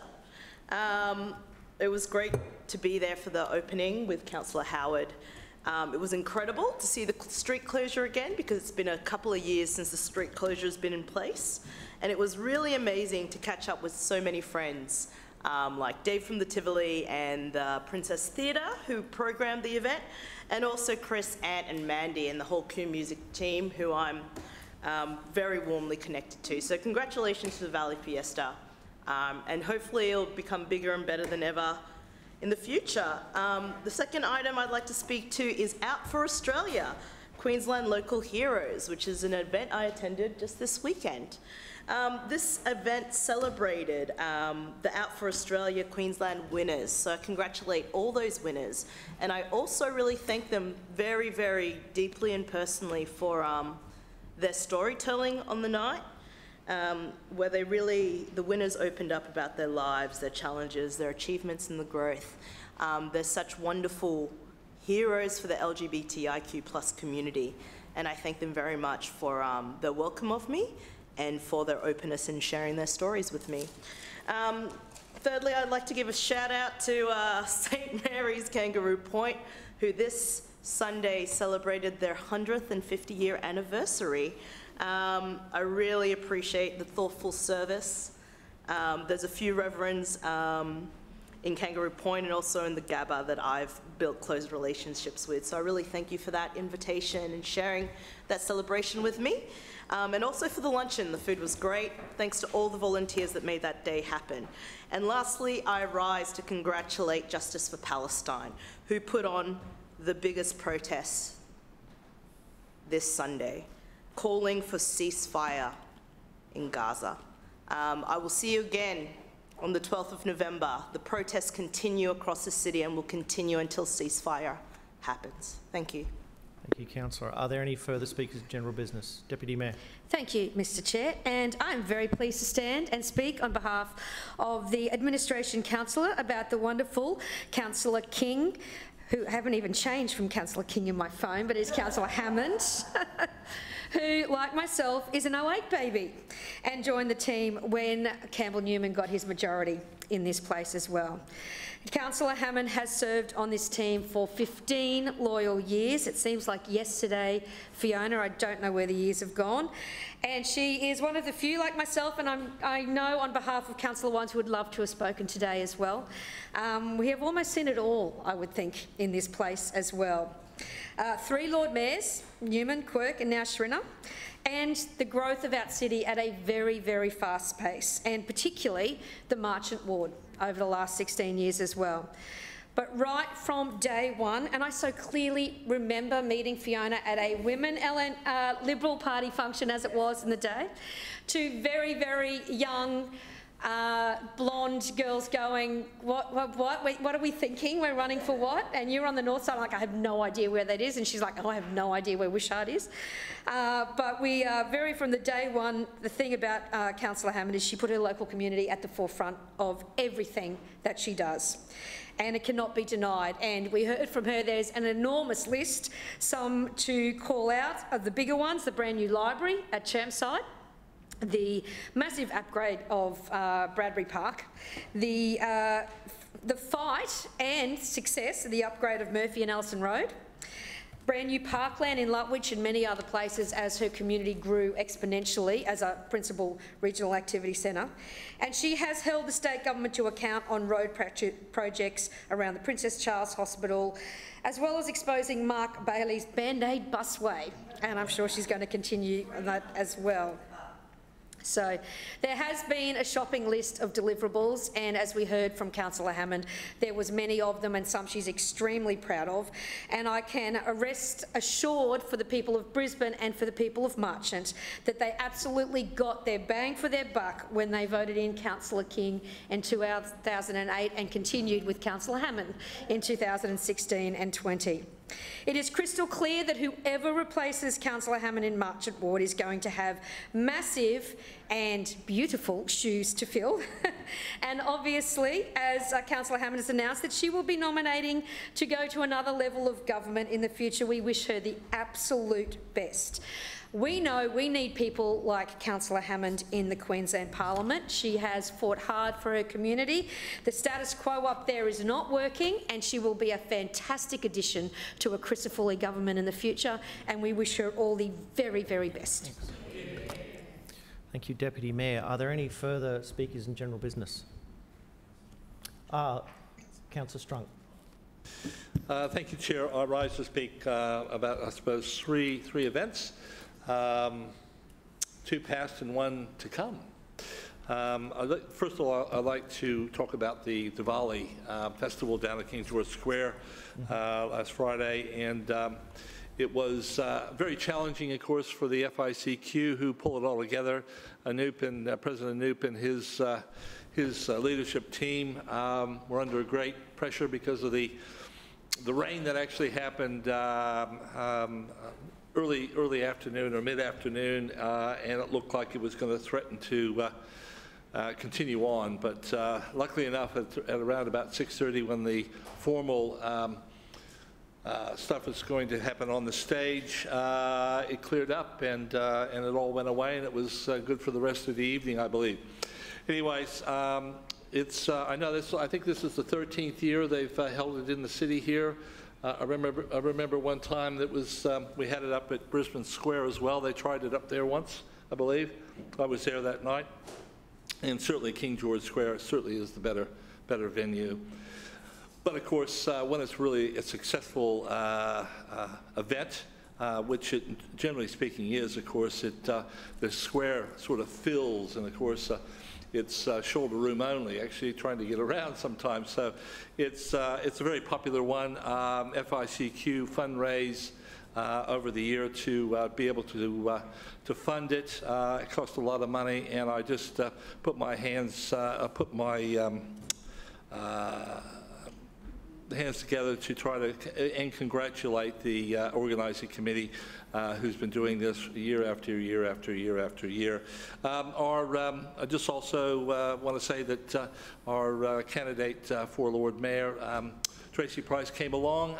she's come to a number of uh, of, uh, of, events uh, for the Indian community, and she continues to build bridges and honestly, the, the ladies especially uh, really want to uh, find out about her, and it's really uh, it's really pleasing to see that uh, uh, that many people from that community are uh, wanting to have a, have a chat to potentially, and I think will be our next female Lord Mayor.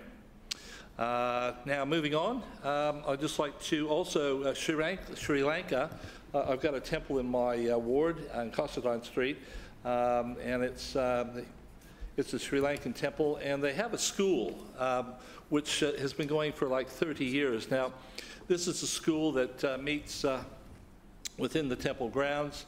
Uh, It's just about to expand their, uh, their size as well uh, on a, on a development within that, within that, within those grounds, um, because it's been such a success that there is well over 200 students that come along every Saturday, and I believe uh, once the expansion goes through, it'll be around about 250. So, um, but of course, what, what they do, of course, is that they uh, uh, try to secure the, of course, the Sri Lankan mother tongue um, with the uh, generations to come. Um, I actually met the, uh, one of the uh, original students uh, for that, uh, at, that, uh, at that school, um, uh, which goes back 30 years. Uh, and it's, uh, it's really good that they want to sustain their uh, cultural uh, ways, uh, whether it be singing or dancing or all those other traditional um, things that, uh, that many of our cultural groups want to uh, continue on so that their, their children and grandchildren don't forget where they come from. And, and they also retain that language as well, which is really important for Australia um, as well, uh, because we are a multicultural community and we benefit greatly for, for that, uh, for that, um, for that. Um, now, another one um, is about, as I say, it's about to uh, happen tomorrow morning at 9 o'clock. Now, this is the first time that I've actually um, was made aware of this particular one. I don't know how many years it's been going on, um, but it's the uh, community engagement um, of the uh, Young Environmental Leadership Network. Uh, which is uh, happening. And the reason I became aware of it is because we have three students from St. John's who have been taking part in those meetings leading up to the uh, to the to the graduation. Um, and I'd just like to give a big shout out shout out to uh, Clara Reed, um, Lily Turner, and and Sophie uh, Pham, who uh, undertake undertook that, that program, and and of course with the with their with the direction um, and uh, encouragement of Maria McIver, who's the principal of St. John's, and that support teacher, uh, Sharon, Sharon Singh. Um, I look forward to catching up with the students tomorrow to find out uh, what actually occurred at all those five meetings that they, uh, that they attended, uh, just to see what, um, what uh, areas of environmental um, studies that they entail, because again, this is the first time that I was made aware of this particular program. So thank you, St. John's, for um, uh, putting your hand up to try to encourage students to uh, look at the, our environment, which is very important, and I look very much forward to uh, 9 o'clock tomorrow morning, uh, bearing, going through that one hour of traffic to try to get in through the congested uh, Western Freeway. But anyways, we'll get there, and, uh, and I'm sure it'll be very worthwhile. Thank you, Chair. Thank you, Councillor Strunk. Councillor Owen, you've got your hand up. You've got the call. I do, Mr Chair. Thank, thank you, Mr Chair. Um, Mr Chair, I would like to speak tonight in regards to Councillor Fiona Hammond, the outgoing councillor of Marchant Ward, who has served in that role for by over 5,700 days, 15 and a half years.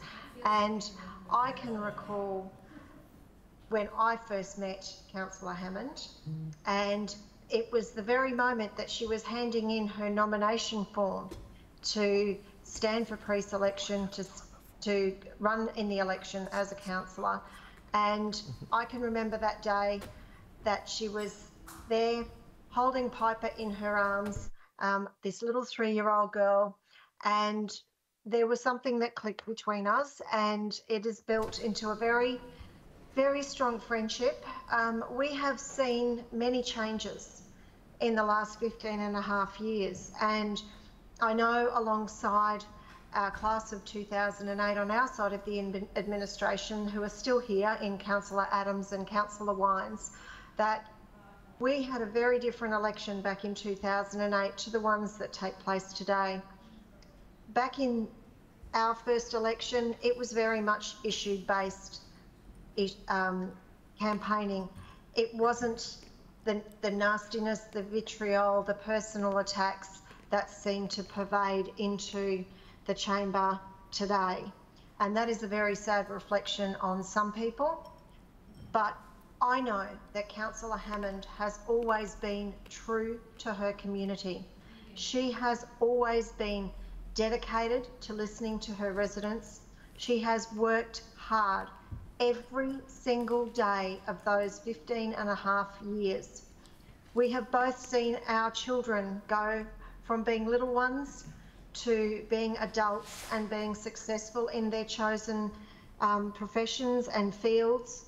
And I think that coming from that perspective of raising children whilst in this job, it is very much a balancing act. And I don't think many people truly realise the sacrifice that families make, the sacrifices that our children endure, and the sacrifices that we as mothers make to not only balance the needs of the community, but also the needs of our families. And I do say as well that Councillor Hammond has been a very, very fierce advocate for many, many sporting organisations and also for many groups within her community. And I know she enjoys donning her Valley's Diehards shirts and her brother's JRLFC shirts and also supporting warehouse cricket. But importantly, she has been there for her community. And I know we often have conversations when she's going to functions with the, the Northside Indian community. And we, we will have um, very much um, a conversation around these many events that take place on both the north side and the south side.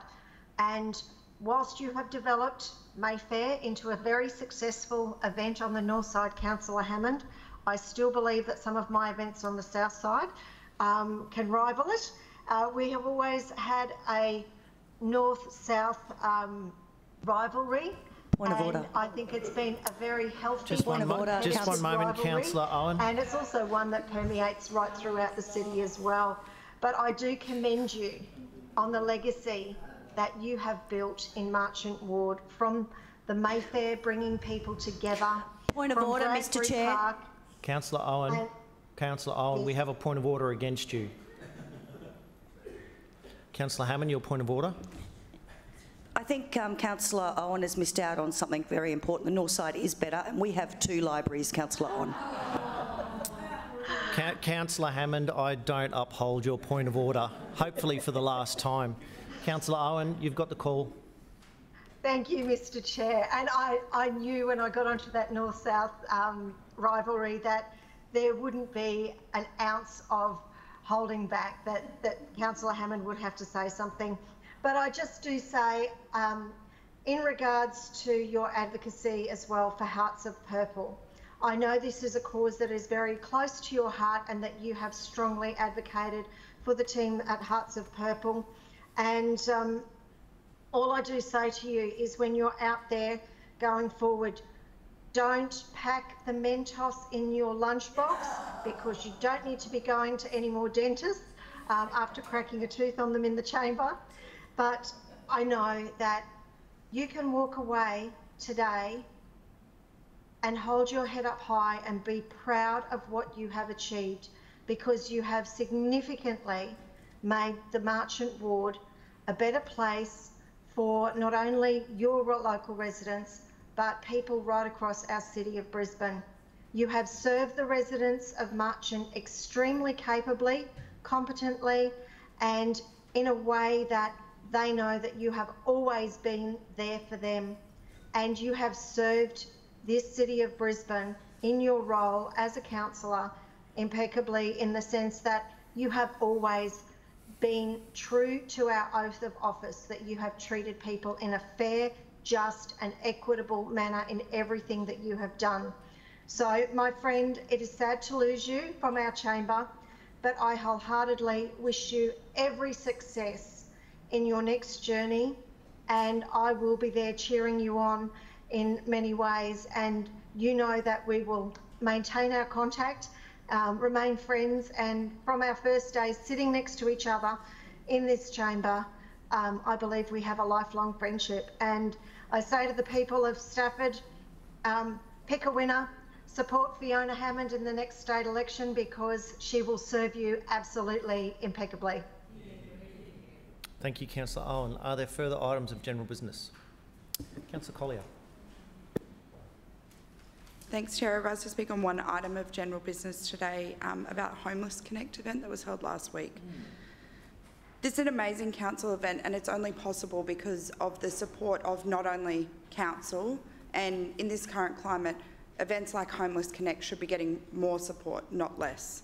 Um, however, what I will say is that what makes this event really special is the way um, that communities can get involved. And I particularly locally want to acknowledge the Bulimba Library for being a collection point, as well as um, the initiative from Tugulawa Early Education, who actually um, did a donations drive.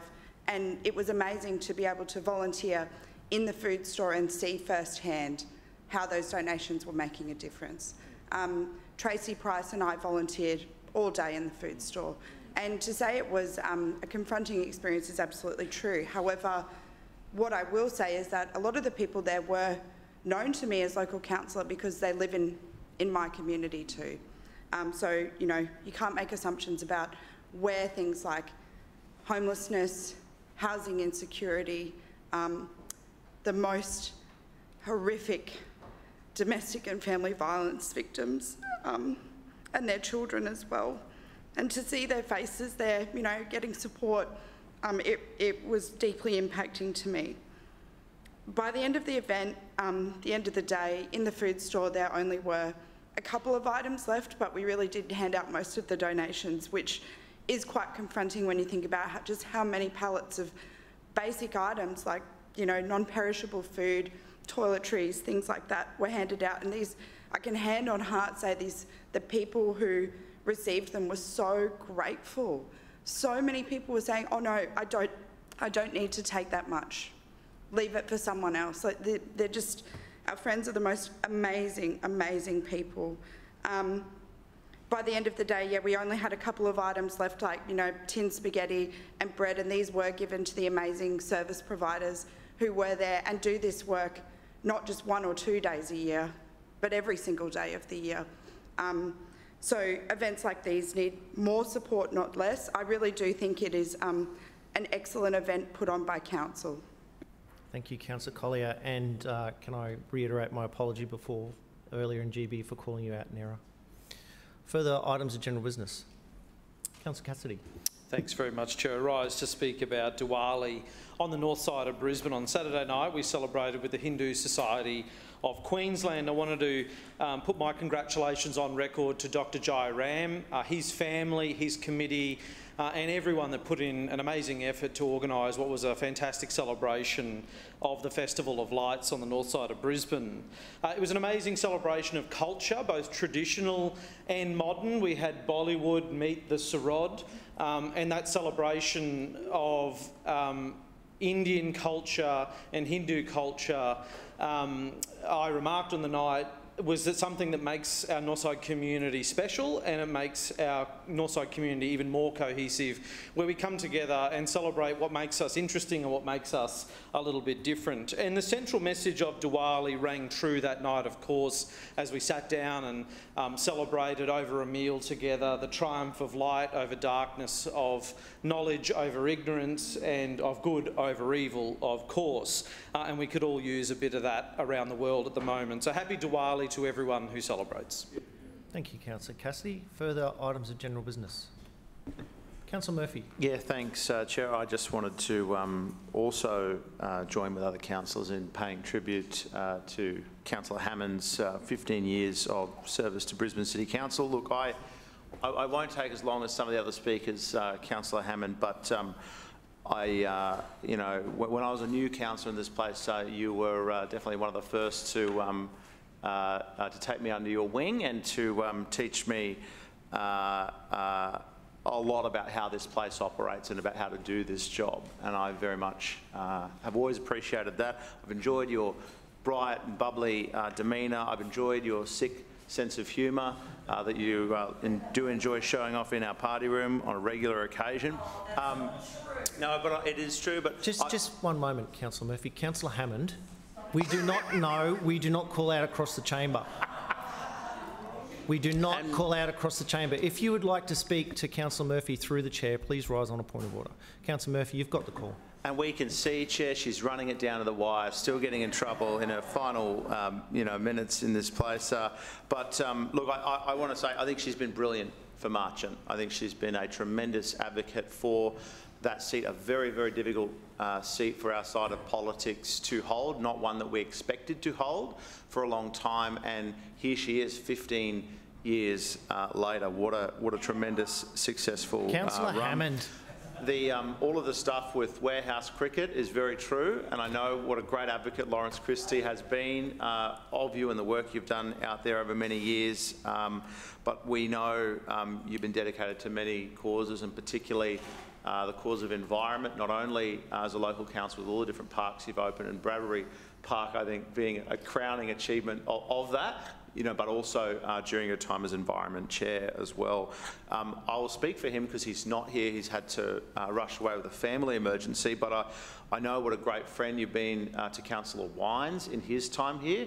You two have had very much a, a symbiotic uh, relationship and you've supported each other uh, as good mates and as, as a boundary uh, count, uh, councillors on the same boundary uh, through that time, as well as former Councillor Wyndham and Councillor Knapp as well, who um, I think, um, you know, I think a little bit like me, you probably copped a little bit of bullying from her in your uh, first after 2008, which was which was character building for you as it was for me. Uh, so just, we just, do. just one moment, Um, Councillor Murphy. C- Can I caution you with your use of language because the former councillor is behind you? I'm worried about that, Chair. I am worried about that. Um, I'll have to get I'll have to get an escort from your chair to the car park. Um, but um, uh, and also Councillor Owen, I should say as well. Uh, and she's made a, a tremendous contribution tonight. The um, one of the biggest contributions, though, uh, that Councillor Hammond has made to our team is a steady stream of uh, policy liaison officers and uh, staff that seem to just come from her office uh, like a breeding ground. Uh, always, um, uh, we get good staff in the Marchant Ward office, and then they get promoted into the Lord Mayor's office or into Chair's offices. So um, that's that's weird. You seem to be the only office that does that with the regularity and the cadence that you do, um, Councillor. And I, I'm one of the beneficiaries of that, as are many other chairs. So um, we thank you for that. Uh, but I think, look, you've made an extraordinary contribution to your community, an extraordinary uh, contribution to your party, uh, and a magnificent contribution to your city. And I know that although we'll be losing a very effective councillor, uh, Neil and your kids will be gaining back a, um, a lovely wife and a loving mother. And um, uh, I love those comments you made before. Those are comments that no other councillor uh, in here would get away with. The ones about having the grandchildren, of course, as you know. And, and we, we know, uh, Chair, that in Marchant, the new councillor will indeed have some very, very big shoes uh, to fill, in, and we will, of course, be assisting them in being up for that task. Thank you, Chair. Thank you, Councillor Murphy. Are there any other items of general business? Councillor Davis. Um, thank you, Mr Chair, and I really do feel the urge to say a few words um, about Councillor, uh, Councillor Hammond. I first met uh, uh, Councillor Hammond when I was in, a, in, in the state parliament, and of course we would see each other from time to time at, at events uh, where uh, we had we had overlap. Um, what I will share with you tonight is uh, former Councillor Amanda Cooper, uh, Councillor Fiona Hammond and Tracy Davis MP uh, were always confused. Uh, none of us looked like each other, but we all had blonde hair. So we spent most of our we we tired of correcting people saying no, I'm Tracy or Fiona or or Amanda. So in the end, we answered to anything. What excites me about your new venture, Fiona, is that when Amanda Cooper and Fiona Hammond are elected to the state parliament in October next year, the three blondes will be back. Thank you, Mr Chair. Thank you, Councillor Davis. Sorry, you caught me mid-pritzel. Um, are there any further other f- items of general business? Councillor Hammond. I know I'm pushing it, but I just want to say two things. I know I'm pushing it. No, no, no, no. You've got the call. Oh. You've got the call. The clerks and the council officers, um, I failed to say thank you Um, I did say thank you to the clerks, and you have to put up with a lot. When Campbell was here, we were here till one o'clock in the morning at times um, with his baby that he used to bring in late at night. We've had three fantastic um, Lord Mayors. Um, to the council officers, you have been absolutely incredible. Lex, who's retired, Ted, Alan Jarvis, um, there's so many of them to say. I'd like to thank you for your dedication to Brisbane. You certainly have made a great impact to our community um, and continue to do so with your dedication to our beautiful city. Um, Councillor Davis, I can't wait to be called. I'm still councillor, right? You said Fiona. Until till Friday, I'm still councillor. I'm going to hold on to that CR right to the end. But I look forward to continue being calling Tracy, Amanda, Fiona, and just answering the questions that they give and then giving you both a quick call to tell you what I'd said to them so we wouldn't get confused. Um, I forgot to um, thank um, Lord Mayor, uh, the previous Lord Mayors, Campbell Newman, Graham Quirk, and of course the current one, um, Adrian Schrinner.